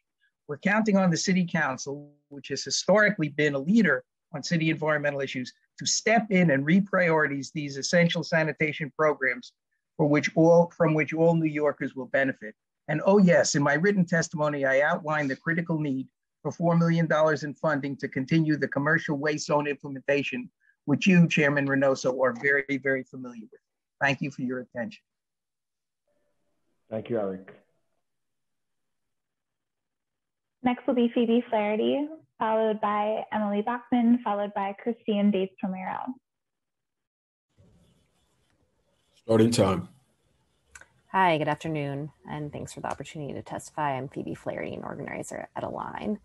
Um, we coordinate the Climate Works for All Coalition and Transform Don't Trash coalitions that led to passing Local Law 97 and Local Law 199 commercial waste zones.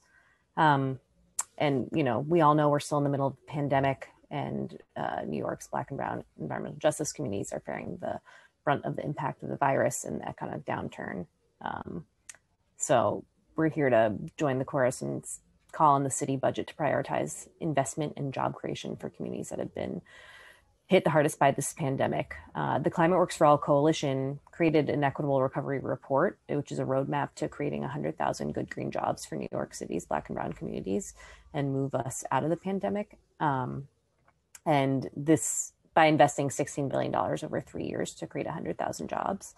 And, you know, we believe this is the comprehensive plan we need to move our city through the crisis and towards equity and climate justice. Um, and we know that, you know, we have to take steps to move us there. And so we've developed some interim budget priorities, many of which uh, the folks on who've already testified today have mentioned.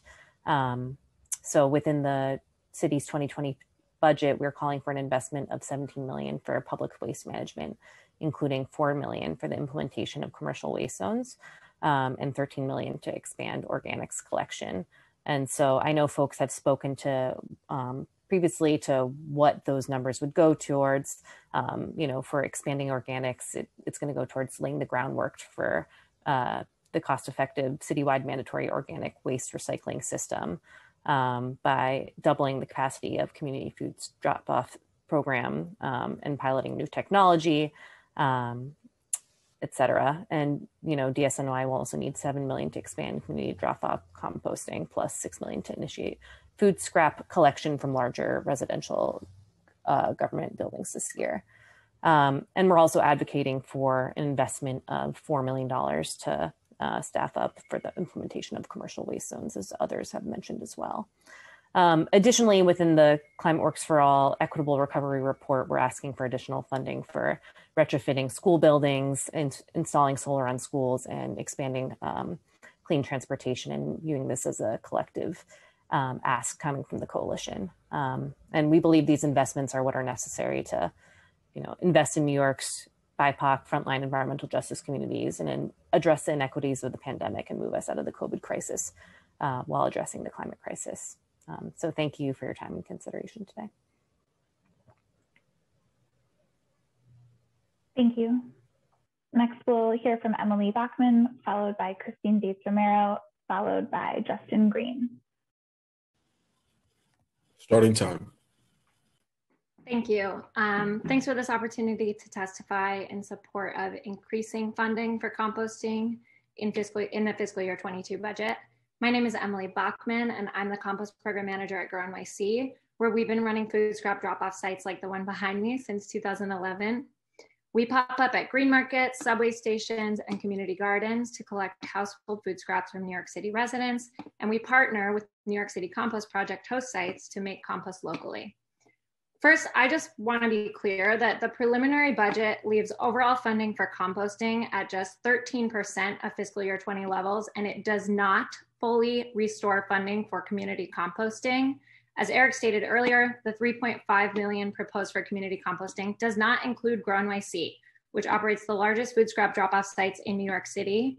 Our funding has historically been included in the recycling outreach line of the budget, and our fiscal year 20 funding for composting was about 2.5 million. Our DSNY funding is 80% lower this year and is completely missing from the proposed budget. So with this year's smaller budget, we have been very happy to reopen 15 of our 76 former food scrap drop-off sites, to hire 20 compost coordinators and drivers, engage 118 volunteers, and collect over 17 tons of food scraps for composting every single week. The response from the public has been awe-inspiring, truly. On average, collections at our reopened sites are 30% higher today than they were before COVID. Collections are 20% higher in the South Bronx, 55% higher in the Upper West Side, 60% higher in Bed-Stuy, Brooklyn, 145% higher in Carroll Gardens. This growth is both encouraging and alarming. We are thrilled to see New Yorkers' commitment to composting, but severely limited in our ability to meet existing demand due to budget cuts. Meanwhile, our private sector fundraising efforts are consistently met with rejection due to potential donors' beliefs that residential waste management in New York should be publicly funded at the municipal level. We support the Save Our Compost Coalition's request for $14.75 million, which includes 2.5 million for, for the Grow NYC Compost Program. And while still much less than pre-COVID funding, we believe that funding at these levels would dramatically increase access to composting for all New Yorkers this year, while setting us back on track toward establishing universal curbside composting program in the near term. And uh, just to finish up, I I want to say we're incredibly thankful to the City Council and the Department of Sanitation for your support over the years. And we just sincerely hope to see renewed commitment to our city zero waste goals reflected in the Department of Sanitation budget for fiscal year 22 so we can continue collaborating on this work. Thanks. Thank you. Next will be Christine Datz Romero, followed by Justin Green, followed by Susie Pineda. Starting time.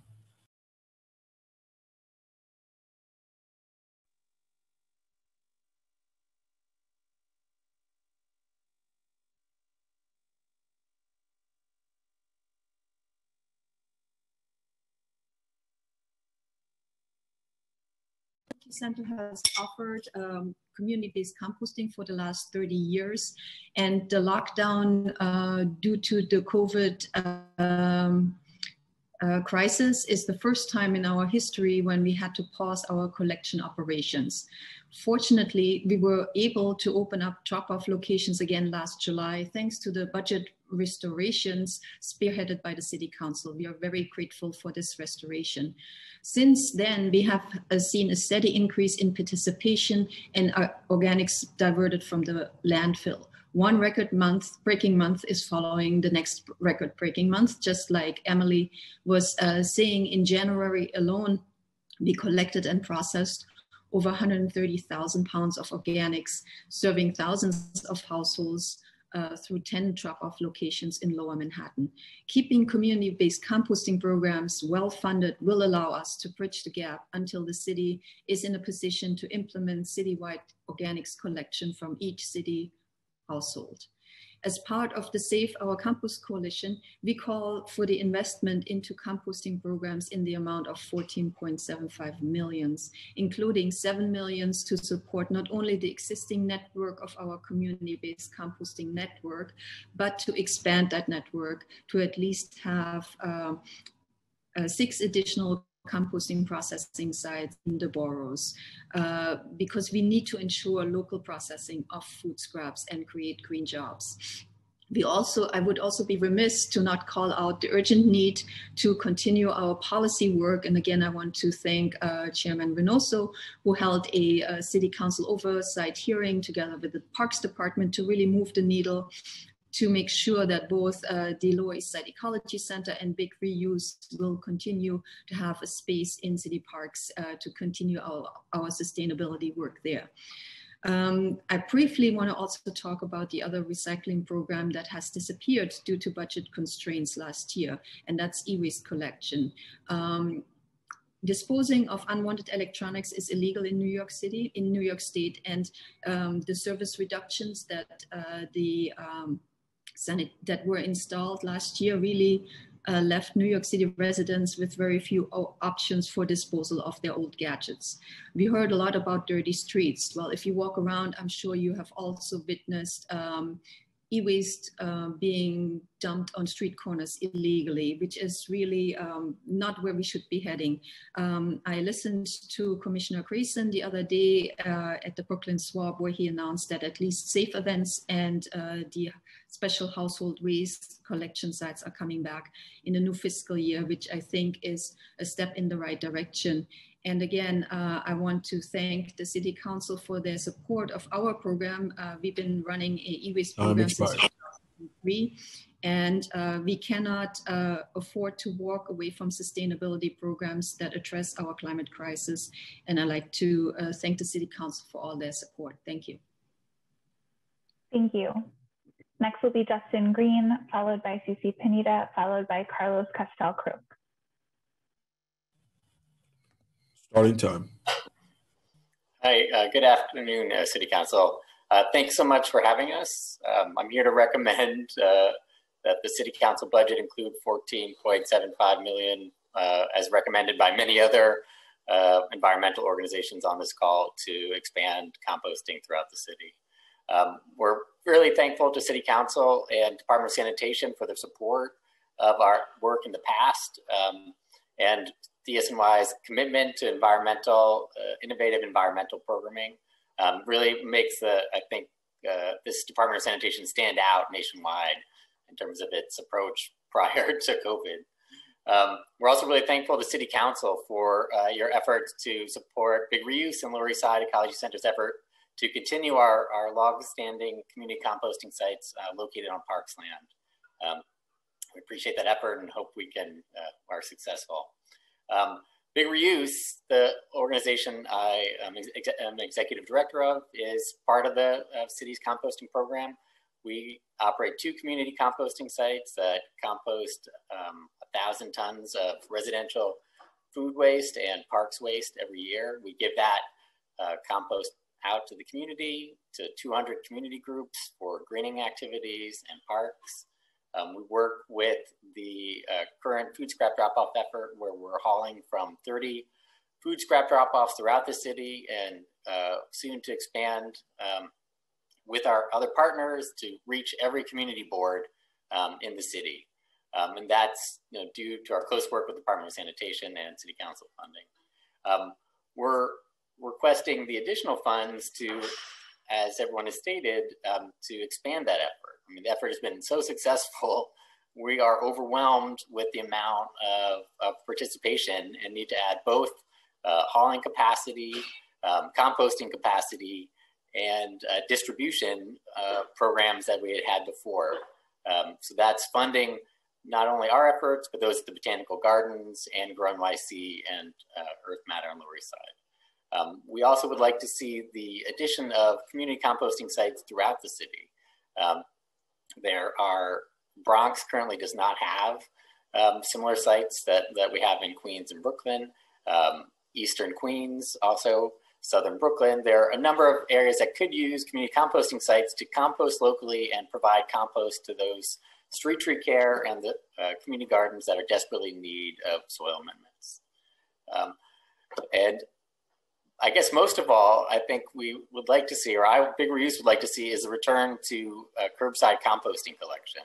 Um, the amounts uh, named in the budget is, in terms of savings of 19, 20, 25 million are so minuscule in the overall scheme of things that it seems clear we should return to curbside composting collection as soon as possible. And I think with um, making mandatory and save as you throw, we will soon we would see um, optimized collection routes and scaled uh, composting sites that would reduce the cost and make it uh, efficient and affordable. So we ask uh, strongly that we look at that and return to curbside composting collection as soon as possible. Thank you for your time. Thank you. Next will be Susie Pineda, followed by Carlos Castel-Croke, followed by Anna Sack. Starting time. Good afternoon. My name is Ceci Pineda, and I'm the executive director at BK Rot. We're a youth powered composting project that collects food scraps by bike and composts them at our partner gardens. I'm testifying today to urge the Department of Sanitation to increase the New York City Compost Project's fiscal year 22 budget allocation to 14.75 million. Um, we were founded in 2013 in part due to a lack of public composting options in our neighborhoods, and eight years later, we find our mission increasingly relevant. Last year, we collected the largest amount of residential organic waste since launching, more than doubling our previous record in 2019. Residential organic waste collection and processing is a public good. It creates a surplus of social, economic, and ecological benefits. And it's our opinion that this service should be fully managed and overseen by the city. However, as Council Member Reynoso also stated, currently our organics collection and processing functions off the service and labor that isn't compensated by the city.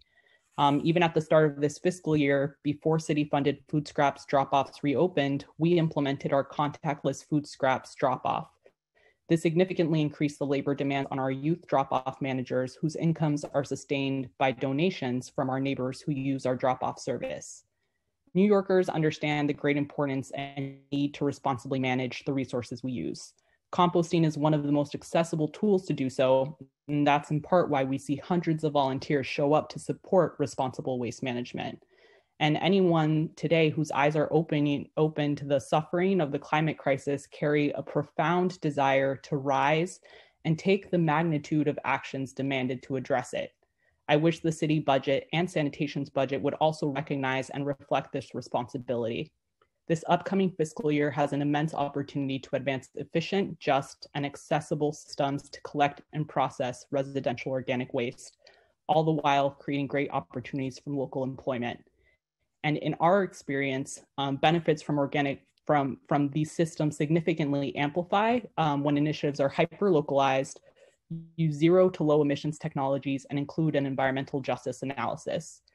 Um, we urge the Committee of Sanitation and Solid Waste to deeply consider the ecological, climate, and social justice crises in structuring their budget for this upcoming fiscal year and increase the um, budget for the New York City Compost Project to 14.75 million. And as others on this call have also shared for community composting and uh, the food scraps drop-off program, for new compost processing facilities, for multi-family building collection and processing pilot, um, to also pilot zero, uh, zero waste schools programs uh, for composting in um, municipal agencies and facilities, and also for a feasibility study on citywide curbside composting.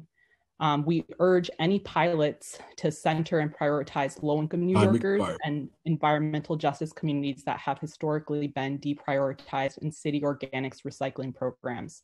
Um, thank you for your time, and as fellow sanitation workers, we deeply appreciate and respect your service. Thank you. Next will be Carlos Castel-Croke, followed by Anna Sachs, followed by Marissa DeDominicis. Starting time. Uh, good afternoon. My name is Carlos Castel-Croke, and I am the Associate for New York City Programs at the New York League of Conservation Voters. NYLCV represents over 30,000 members in New York City, and we are committed to advancing a sustainability agenda that will make our people, our neighborhoods, and our economy healthier and more resilient. I'd like to thank Chair Reynoso and all the City Council members um, on the committee for the opportunity to testify today. NYLCV supports a fiscal year 22 budget um, that secures progress as me, uh, on many of the environmental, transportation, and public health priorities Mayor de Blasio has committed to in One NYC and beyond. Our city is on the precipice of the road to recovery from the COVID 19 pandemic, and it is incumbent upon our elected leaders to invest our tax dollars in climate action solutions as we rebound from this crisis and not lose ground.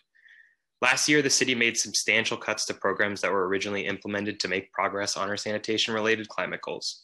The city was already behind schedule on meeting its zero waste goal of reducing the amount of waste we send to landfills by 90% by 2030 before these cuts. So we implore the city that we implore that the city take bold action to drastically reduce waste over the next nine years. First, we must ensure that the Department of Sanitation has the funding they need to properly implement commercial waste zones. This program, which was established as Local Law 199 of 2019, will reduce emissions and improve safety for workers and pedestrians by requiring commercial carters to operate within waste zones instead of rushing to cover long, and gratuitous routes. We ask that the Department of Sanitation receive 4 million to fully fund the staff, consultants, and data management needed to implement this program. The fiscal year 22 budget must also include the 14 million in funding for composting programs across the city that will start to bring us back towards our zero waste goals. This money will include doubling the current funding for New York's food scrap, uh, food scrap drop-off program, providing additional funding to large-scale compost sites such as Big Reuse and Lower East Side Ecology Center, reinstating the in-school composting educational program, and exploring a multifamily building collection pilot program. This 14 million funding will set the city up to take aggressive waste reduction actions in the near future. Initially, the City Council should also pass Intros 1942 and 1943, sponsored by Councilmember Powers and Reynoso, respectively.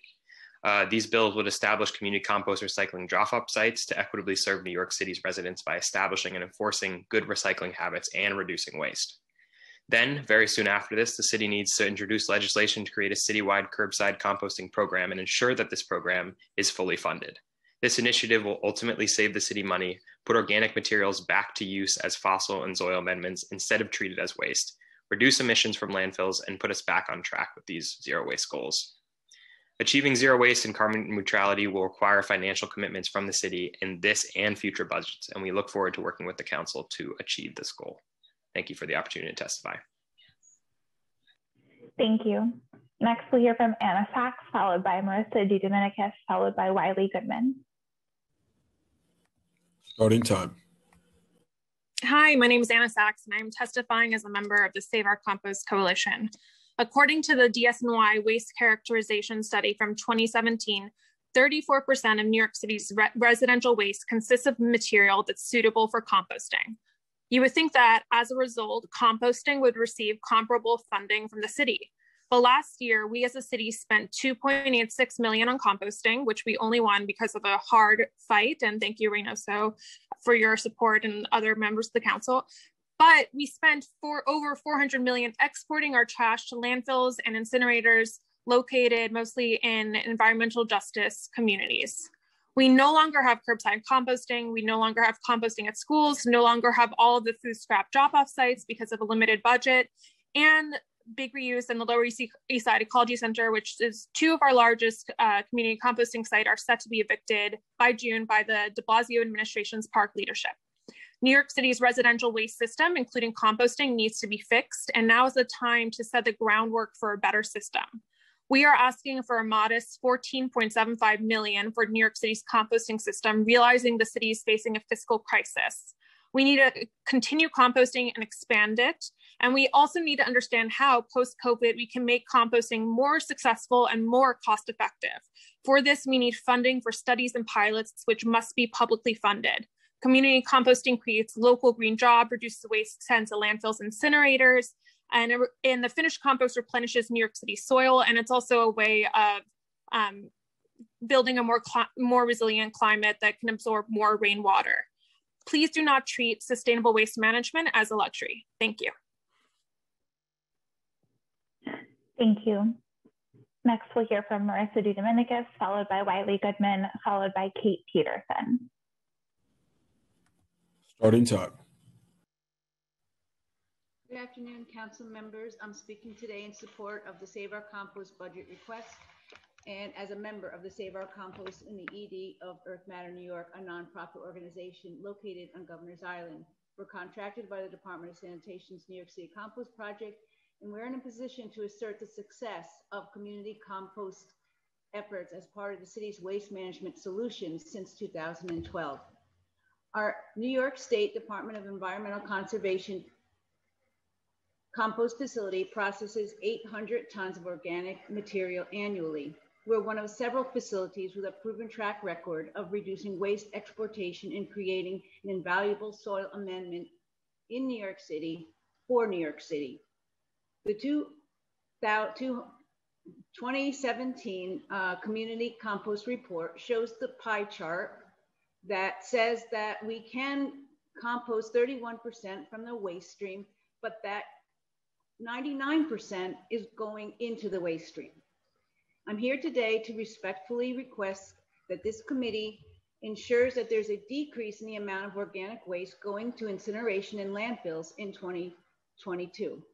I urge you to allocate additional composting funding as the budget priority in the following three areas. One, invest in infrastructure. Ensure Big and Lower East Side have permanent homes in parks. Ad advocate addition, allocate additional land and resources to create six additional compost facilities located strategically in all the boroughs to increase the local compost processing capacity and educational hubs.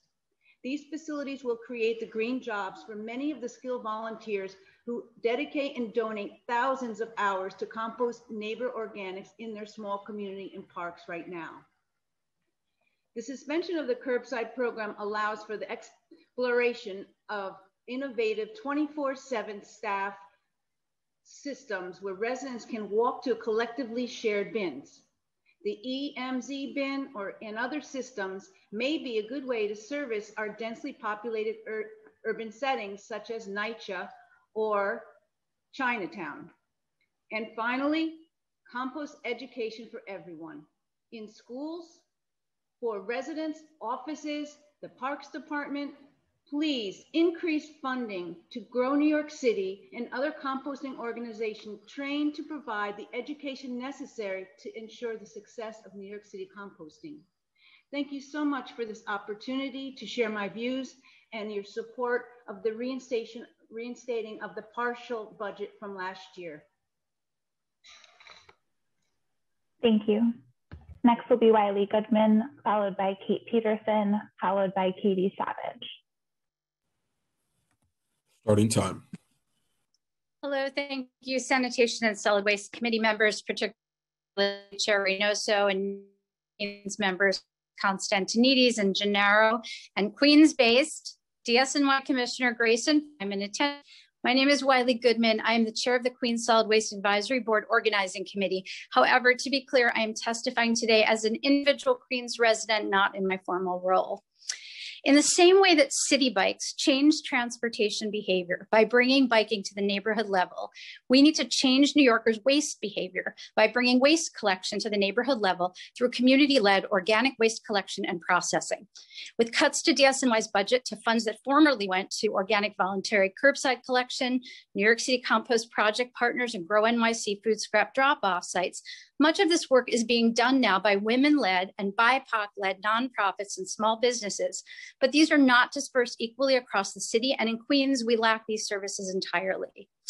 For this reason, I strongly urge an amended FY22 DSNY budget that restores the 14.75 million already noted to increase the capacity of local neighborhood-based composting collection and processing, as well as e-waste waste recycling in partnership with organizations such as Big Reuse, Queens Botanic Garden, and Grow NYC, among others. This is not because our highly value, valuable and respected unionized workforce cannot do this but because when waste is exclusively handled through what might feel to many as an anonymous city agency, it allows the public's out of sight, out of mind uh, mindset around waste to continue. To change behavior, New Yorkers need to see people who look like them, going the extra mile to separate the 22 to 40% of our waste that includes organics and rewarded for doing so by being given locally produced compost they can use to amend street tree beds, rain gardens, community gardens, and even feed their house plants.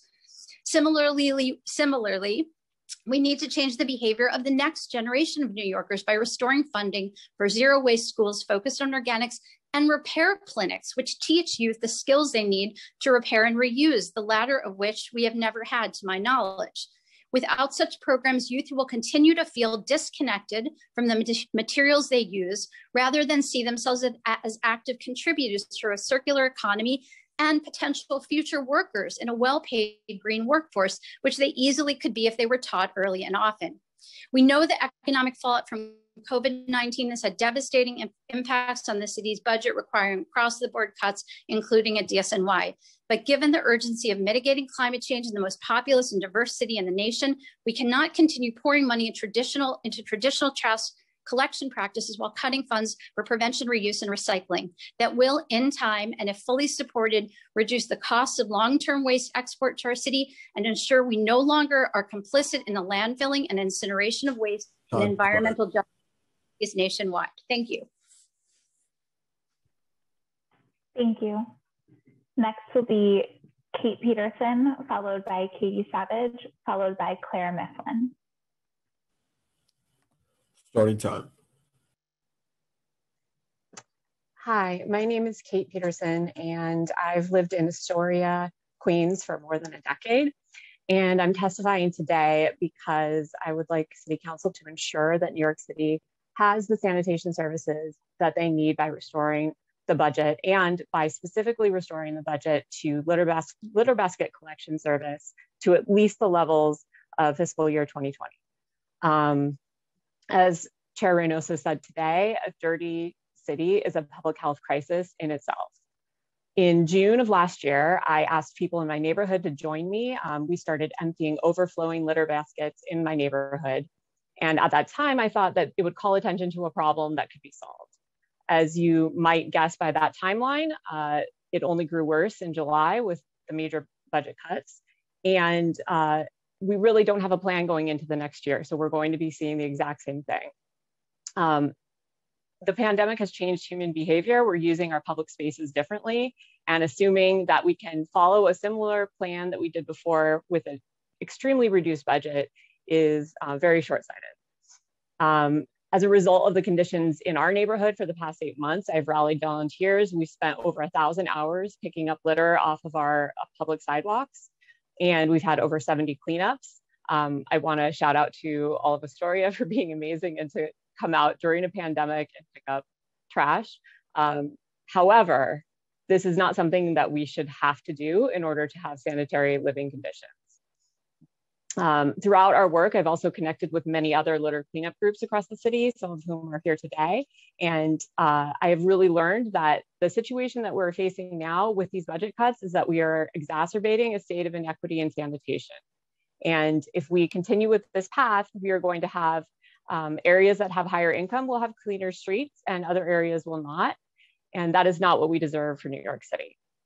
Um, so because I'm in a situation where I've been able to devote the time needed to this issue, I recognize that I have the privilege and I want to use my voice to advocate to make sure that services are being given to everybody in New York City who um, everybody equally. Um, the last thing I wanted to bring up is that I'm concerned maybe the data is not being tracked properly in terms of what the actual conditions on our sidewalks is. Um, in August of last year, the sidewalks in my community district received a 100% approval rating from the mayor's scorecard system. Um, I don't know what sidewalks they visited, but yeah, I can't imagine how they got to 100%. If you looked in my apartment from outside a window, you might think it was 100% clean, but uh, once you get inside, it's very clearly not. So uh, I would I would urge City Council to consider uh, whether the data is being captured properly. If it's not, to figure out how it could be captured properly, because if that's the data that we are relying on to create a budget, we are um, we are not doing it accurately. Um, and the final thing I want to say is that if we continue last year in the same vein that we did, uh, we continue next year in the same vein we did this year, um, I'm concerned that people will not want to continue to live in what I consider the most amazing city in the world. And I'm concerned people will leave my neighborhood of Astoria, which is the best neighborhood in New York City. So thank you. Thank you. Next will be Katie Savage, followed by Clare Miflin, followed by Henry Lee. Time starts now. Good afternoon. My name is Katie Savage, and I'm the founder of the Hell's Kitchen Litter Legion, a volunteer community cleanup group started in June of 2020. Over the past eight months, we have hosted 30 group cleanups with over 275 participants and almost 100 unique volunteers. Together, we pick up litter and empty overflowing corner baskets, primarily along 10th Avenue and Hell's Kitchen. Due to the Department of Sanitation budget cuts, the litter baskets along this avenue are only emptied once every two to three days. This may have been acceptable last spring during the lockdown when no one was outside, but once the weather warmed up, the excess trash started to appear. Last week alone, we picked up 325 pounds of loose litter along a 10 block stretch and emptied 40 overflowing corner baskets. As we start to enter spring again, we need the drastic service cuts to be restored more than ever. We cannot normalize seeing trash everywhere. This is not a job for volunteers. These are basic city services that must be restored. Also, in my 16 years as a New York City resident, I have never once encountered a syringe on the street until last spring. Just this week, I reported six syringes within three blocks, most of them by schools. Cleanup groups throughout the city are encountering these issues as well. As part of the FY21 budget cuts, the DSNY syringe collection unit was eliminated, and it now takes longer for these conditions to be addressed. In addition to restored funding for basket service and syringe collection by DSNY, I urge council members to restore full fiscal year 2020 funding levels for the NYC Cleanup Initiative that supports critical supplemental cleaning services throughout the city. It's not Department of Sanitation's job to clean the sidewalks, but we need those sidewalk spaces to be clean. Our businesses are struggling and providing support to keep our streets clean will make our city more attractive to the visitors we desperately need to help our economy rebound from the impacts of the pandemic. This amounts to a modest $5.1 million in funding that will provide an immediate impact on the cleanliness of our streets. These programs also provide jobs to formerly homeless and incarcerated individuals. So to me, this is a win-win, creating jobs and keeping our streets clean. I've participated in cleanups in Manhattan, Brooklyn, Queens, and the Bronx. And everywhere is dirty. We all see the same things, and we don't deserve to live in these conditions. Um, it's it's a huge issue, and it really needs to be addressed. We have to have the basic city services. We have to have overflowing baskets emptied. I understand the need to educate and reduce the waste stream in general, but that doesn't mean we stop and let the city turn into a dumping ground. Thank you for your time. Thank you. Next will be Clare Miflin, followed by Henry Lee, followed by Leslie Woodruff. Time starts now. Hi, I'm Clare Miflin, Centre for Zero Waste Design and part of the Save Our Compost Coalition.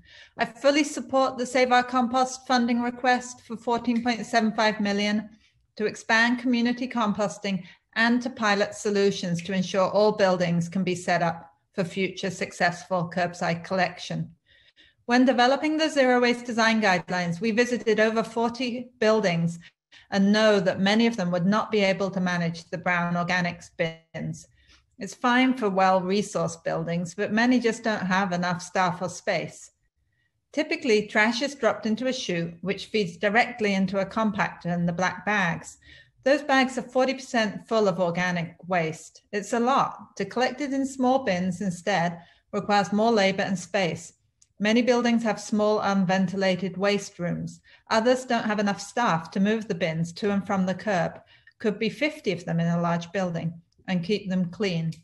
It's time to spend a modest 2 million on pilots to determine the best way to set up all buildings for successful participation and to reduce costs for future curbside collection. Equipment can be installed in buildings that reduces the volume of organic waste by 90%, eliminates odors, and produces an organic fertilizer. On-street containers could allow residents in, uh, in, in neighborhoods with no space at all to, and under-resourced buildings to drop off waste curbside. How these systems are best set up for high participation low contamination, and easy management needs to be tested and evaluated in a pilot, but it's clear they could save substantial money for the buildings and the city. Food scraps are the most problematic part of the waste stream, bringing cockroaches, pest control chemicals, and asthma to buildings, garbage, juice, rats, and odors to streets, and greenhouse gas emissions to landfills. Yet separated, they can bring huge benefits to the city, regenerating local soils, supporting urban agriculture and street trees, making the city cooler and reducing flooding. This can be done in so many ways, all require different amounts of space and labor with community and volunteer involvement or using in-building equipment. So I fully support expanding community composting, but we also need pilots so when the city restarts organic collection and makes it mandatory, It will be successful, equitable, and affordable. We need to ensure that all New Yorkers can participate in making their city greener, cleaner, and more sustainable. 14.75 million is not a lot, but it could have a catalytic effect, setting New York City up for zero waste success and creating a whole host of other benefits. Thank you all for your time and consideration. Thank you. Next will be Henry Lee, followed by Leslie Woodruff, followed by Jane Selden. Time starts now. Hey everyone, I'm Henry Lee. I live uh, on the 900, 700 block of 9th Avenue here in Hell's Kitchen. And I just want to tell you over the last year what I've seen and experienced. And this, as some people have said, it really is a quality of, of life issue here in the city. It's about the health and safety for everyone. And it's my belief that people are going to leave the city if it's not going to be livable. And this is what I've seen. I've seen lots of household trash dumped on 9th Avenue between the, the avenue itself and the bike lane where the bins are meant to be. They're, they are over, have been overflowing. A couple weeks ago, I saw someone had renovated their apartment or moved, and all their garbage got dumped out on the corner on the sidewalk. It sat there for two weeks. And I know this is the case because there was a very nice Miele uh, dishwasher that was left in the garbage, and we commented on it several several times. I also have seen syringes in the streets, which was shocking to me. I saw people actually over the summer using drugs in the streets. Uh, this is this is to me is a very serious issue. I love New York, uh, but I was really shocked at how bad things have gotten. Uh, as you know, I actually met Katie Savage uh, last year, and I've tried to help her a little bit. Uh, she's done an amazing job uh, but I think we all can agree that we definitely want our city to be livable because I, you know, I put a little note here. How does the mayor expect to restart the tourist economy uh, if this is a disgusting and dirty city? Uh, anyway, thanks for letting me speak. Thank you. Next, we'll hear from Leslie Woodruff, followed by Jean Selden, followed by Josh Taden. Time starts now. Hi everyone, Leslie Woodruff here. I live in Hell's Kitchen, um, and I'm coming to you from a family perspective. I run a small group um, of parents and um, family members uh, called Hell's Kitchen Families.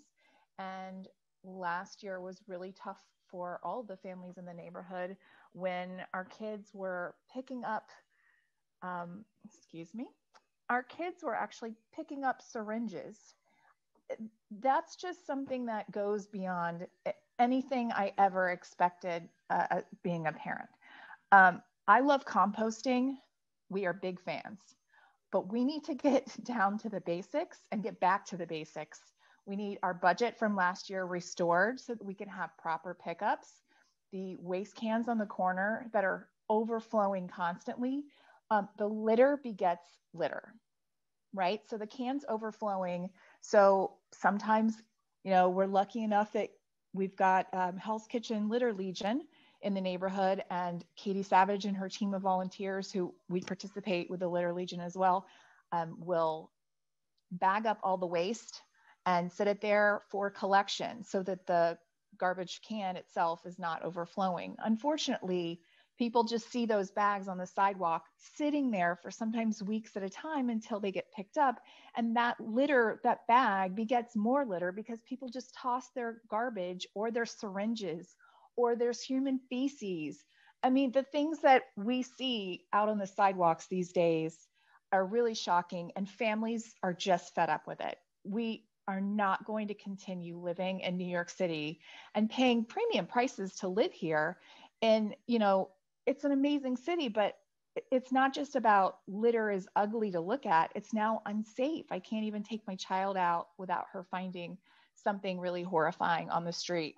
Um, we're adjacent to Times Square, the theater and tourist district. This is, you know, a heavily trafficked area in Midtown where we need to have empty garbage cans. Um, we need to have safe streets that aren't, you know, cluttered up with gutter litter. Um, this is to me, this is about Maslow's hierarchy of needs. I could talk about composting as well, but until our garbage situation is taken care of, I, I can't talk about something that's more actualized. I need the basic services right now restored. Thank you so much. I really hope that this will be a high priority. Thank you. Next, we'll hear from Jane Selden, followed by Josh Caden, followed by Ina Lee Selden. Time starts now. Thank you for the opportunity to provide testimony for this hearing. My name is Jane Selden, and I represent the local climate group 350 NYC. We are testifying today about refrigerants, powerful greenhouse gases that are thousands of times more destructive than CO2. Refrigerants in use now are mostly hydrofluorocarbons or HFCs, and in some older equipment, chlorofluorocarbons or CFCs, often known as Freon. They are found in refrigerators, air conditioners, dehumidifiers, and a host of other machines. If these refrigerants are not recovered before disposal, they leak into the atmosphere, contributing significantly to extreme climate damage. The DEC estimates that emissions from HFCs in New York City make up 6% of greenhouse gas emissions, equivalent to 4 million tons of CO2. 70% come from large commercial air conditioners, and stationary refrigeration systems. Over half of these emissions occur at the point of disposal due to trash haulers not following correct recovery and disposal protocols. Inquiries to DSNY in the past reveal that there has been little or no monitoring of commercial haulers regarding recovery and disposal of large refrigerators and air conditioning systems. The good news is that we now have an opportunity to change this. With the introduction of the new commercial waste zone legislation, we recommend that first, that uh, commercial haulers uh, awarded contracts with the city be required to be trained in safe recovery and disposal of large refrigerant systems and gases. Secondly, the, that the DSNY establish a database for monitoring large systems collected by commercial haulers and that the amount of HFC and CFC gases collected be tracked. In December of 2020, Congress passed the American Innovation and Manufacturing Act, which gave the EPA authority to rewrite refrigerant management regulations. These are now in the process of being finalized by the Biden EPA. We urge the DSNY to establish an Office of Refrigerant Recovery with adequate capacity to oversee and enforce refrigerant management, recovery, disposal, and monitoring of both commercial haulers and residential collection. We believe that if New York City is to reach its stated climate goal, it is crucial that adequate funding be included in the Department of Sanitation of New York's budget to hire personnel to ensure enforcement, recovery, disposal, and monitoring of HFCs and CFCs. Thank you. Thank you. Next will be Josh Taden, followed by Ina Lee Selden, followed by Travis Tinney. Time starts now. Hi there, my name is Joshua Chaden. I'm an 18 year resident of Astoria here in Council District 22.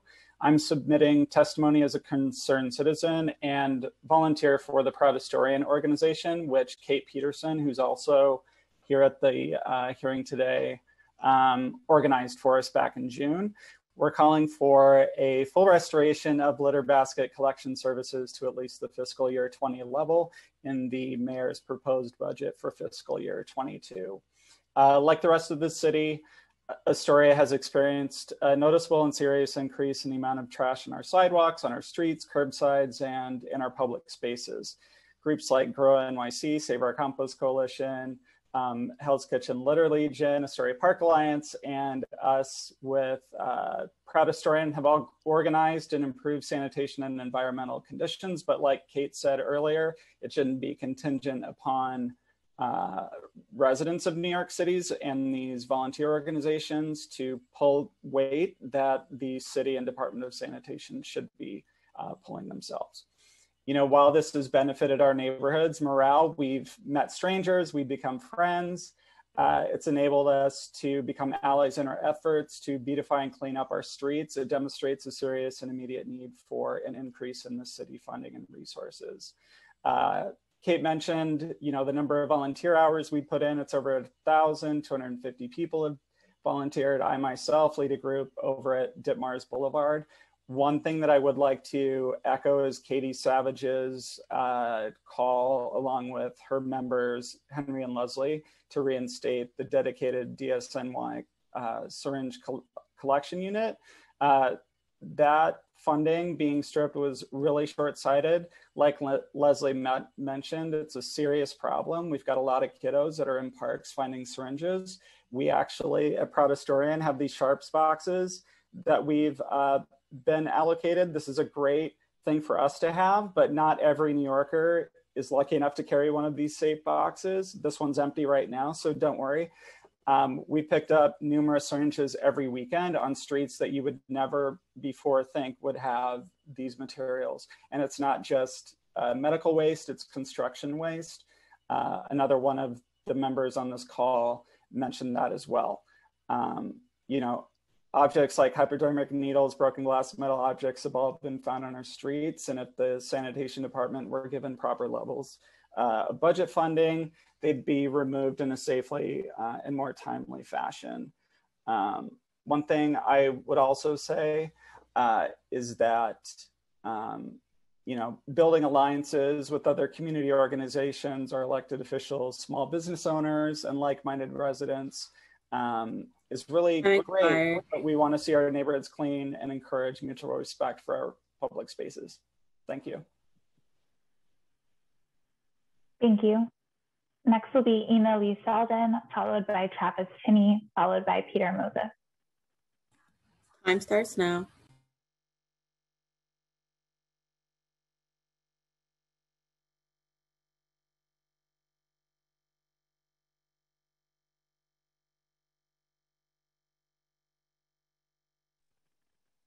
You might need to accept the unmute. Something should pop up. Okay, I'm, I'm here to advocate for my little street. It's 52nd Street between 8th and 9th Avenue.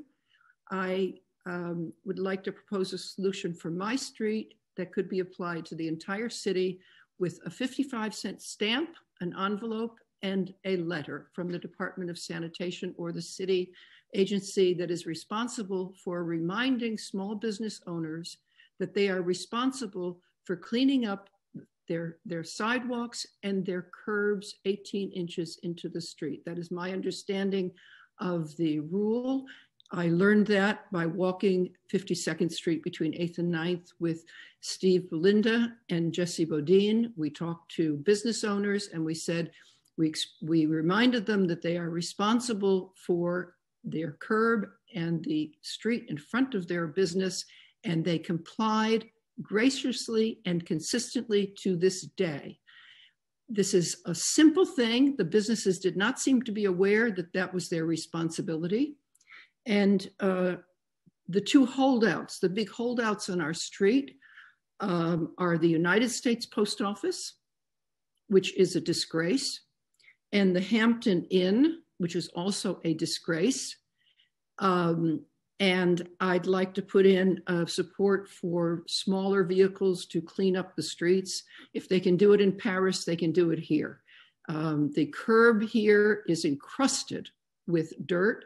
The, at the end of the street, we get um, a, an accumulation of water which freezes, which means that the bike lane at the end of the street is usually frozen over, garbage collects, and the uh, the, the cyclers and the delivery staff from the restaurants um, avoid that lane, the bike lane, they veer into the traffic, and this is a this is a white bicycle waiting to happen. One of these bicyclists is going to get killed by a truck or by a car, not expecting them to move out of the bike lane between cars and into the traffic lane. And the city does not need another death of a bicycler. So it's an urgent problem. It doesn't take 1.5 million or $5 million to, uh, to correct. It just takes a polite reminder backed up by fines if people don't comply to clean their streets. Uh, That's it. Easy, low cost, fast. Thank you very much for the opportunity. Thank you. Next will be Travis Tinney, followed by Peter Moses, followed by Rebecca Dengrove. Time starts now. Good afternoon. Uh, thank you to the council uh, for holding this hearing. Chairman Reynoso, um, Councilmember Chin, and the, and the other council members who have spoken today in support of funding for uh, the New York City uh, Sanitation Department and sanitation in general. My name is Travis Tinney. I'm testifying on behalf of ACE Programs for the Homeless. ACE is a nonprofit. We do uh, workforce training for men and women who are overcoming homelessness. In addition to that training and job placement, we employ 75 men and women who have overcome homelessness with, um, we offer them full-time employment and benefits uh, through a sanitation initiative, uh, the NYC Cleanup Initiative. We've seen through this work the firsthand effects of the cut in sanitation funding. Uh, we're proud to work alongside them, clean up the sidewalks and prepare the, the uh, trash and trash bins for that pickup. And in the months to come, we anticipate, along with some of these uh, community organizations, an uptick in trash there. So we call for uh, restoration to previous year's levels of funding, uh, FY20 level uh, sanitation funding and beyond, and as well for the New York City Cleanup Initiative funding. Um, we join in the, in the chorus to call for those. Thank you to the council uh, for making this a priority. It's important to the residents. We've had a severe uptick in in complaints for this and uh, complaints of rodents, quality of life, and safety hazards. So we are very pleased to see that the council is uh, moving forward to make calls for this. We're just appreciative of their general uh, mindset and demeanor to be in support of, of these sanitation issues that affect so many of us uh, New Yorkers. So thank you for your time, and uh, we we advocate for restored funding. Thank you. Next, we'll hear from Peter Moses, followed by Rebecca Dengrove, followed by Nora Bisharat. Time starts now. Hi, uh, my name is Peter Moses. I am a Astoria resident, not as long-term as some others. I've only been here 16 years. I'm also a small business owner. I'm one of the owners of Mighty Oak Roasters. And I just wanted to comment um, about the litter baskets. Um, just walking around in my neighborhood, which I love. I've been here for a long time. Uh, it's just disgustingly filthy uh, everywhere you go. Um, and you know, while I know the group Proud Astorians does a lot of cleanup, uh, it really shouldn't fall on to us for that. Um, I, other than other people, I would like the funding to be increased over the 2020 levels. I don't think those will be sufficient uh, with the number of people who are still working from home all the time, not traveling. Um, and I think that those trash levels will increase on the streets. I'd also like to call out um, the e-waste program. Uh, right now, you can't recycle your electronics. Um, if you look in the DSNY website, it tells you to um, you know, schedule an appointment, but then you look at that, you can't, appointments are not accepted right now due to COVID. It says to look at retailers. If you've ever tried to navigate Best Buy's website or Staples, uh, you'll see there's a lot of caveats on uh, recycling electronics. Um, I'm also instructed to go to the DEC website, which then tells me to learn about ice fishing. So I'd really like to see those uh, the e-waste pickups uh, come back. It's been very helpful over the years. Um, I'd also like to um, see the orange DSNY um, reusable bags distributed to local businesses as a point for distributing out to the general public. I know I've picked some up at some tree waste shredding uh, before Christmas tree shredding, shredding, and that was really helpful.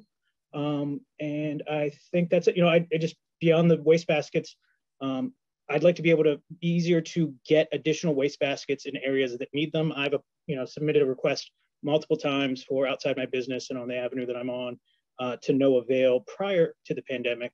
Um, so it would be very helpful if we could increase that.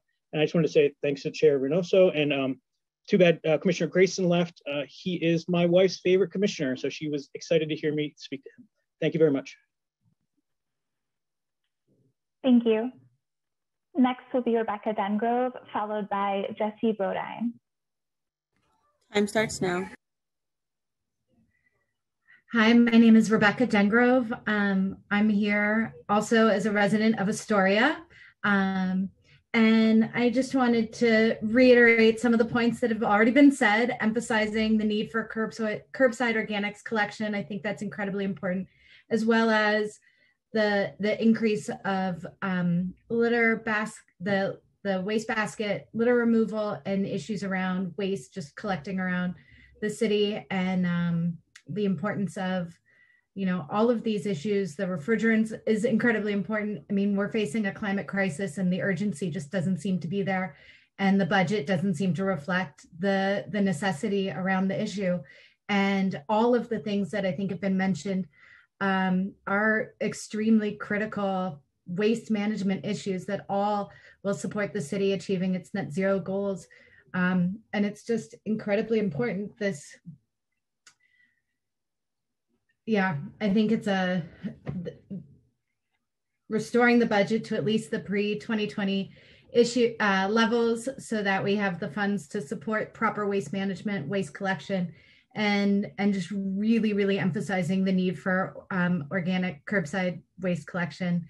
Um, composting is incredibly important. It's will help divert waste from going to landfills and you know reduce methane emissions, and it's just something that I think a lot of people can get behind and understand and putting the resources in place for the community to participate will just make it that much easier. And so um, it, it just blows my mind that we don't have the budget to support it. So I, I really hope that the 14.75 million that has been mentioned um, is considered and strongly, you know, implemented. Um, I just don't know what else to say. It's it's disappointing and frustrating. So thank you. Uh, appreciate the time. Thank you. At this time, we've called on everyone who's signed up to testify. If we've inadvertently missed you um, and you've signed up to testify, can you please use the Zoom raise hand function now?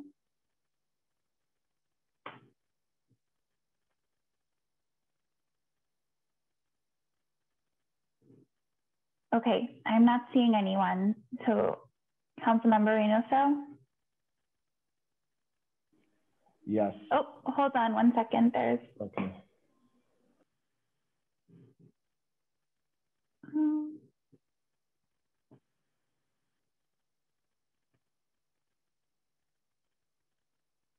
hold on one minute.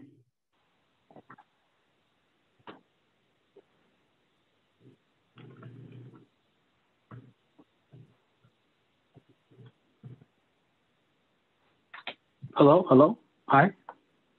Hi, can you please say your name? Yes, ma'am. Uh, I am Dexter Thomas Payne. I'm here for Jennifer Seda. Uh, we are co-founders of the Anti-Litter Project. Okay, great. You can proceed with your testimony. Thank you very much. Uh, nice to be here. Thank you, everybody, uh, for speaking. Uh, we first started this initiative in June of 2020. And uh, as they said before, uh, the pandemic was one thing, but once it got nice, uh, we really saw the impact that people being outside had on the streets. We tried to reduce the litter uh, by line that lines the streets by organizing weekly community cleanups. Uh, it was hard at first. We didn't get a lot of volunteers. We've been building traction slowly but surely. We, mo- we work primarily in the South Bronx, which has been one of the underserved areas of the Bronx for a long time. Uh, last week, for example, we picked up 300 pounds of garbage in a one block radius. We have racked up over 500 volunteer hours and have 20 volunteers versus the population of the Bronx.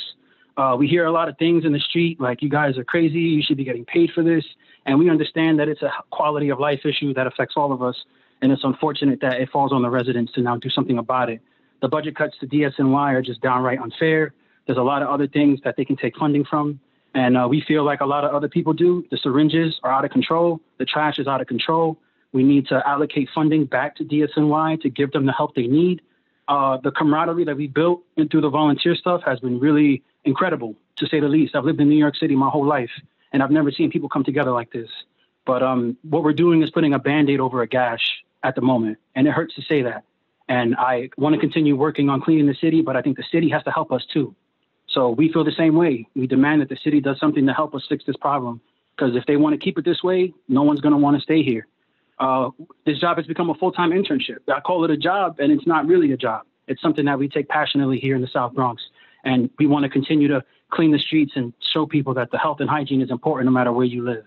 So, on short, fun sanitation, and let's do it together. Thank you. Thank you. That concludes public testimony. Chair Reynoso. Thank you, Nicole. Thank you, everyone, for uh, being here today. Um, I think that, you know, I hope that the administration and the Department of Sanitation have heard our voices and understand how deeply we care about clean streets um, and just initiatives that we should be paying attention to um, that are going to address climate change um, as well. Uh, thank you for everyone that you know hung on there until the end. Um, and at this point, I'm going to adjourn the meeting.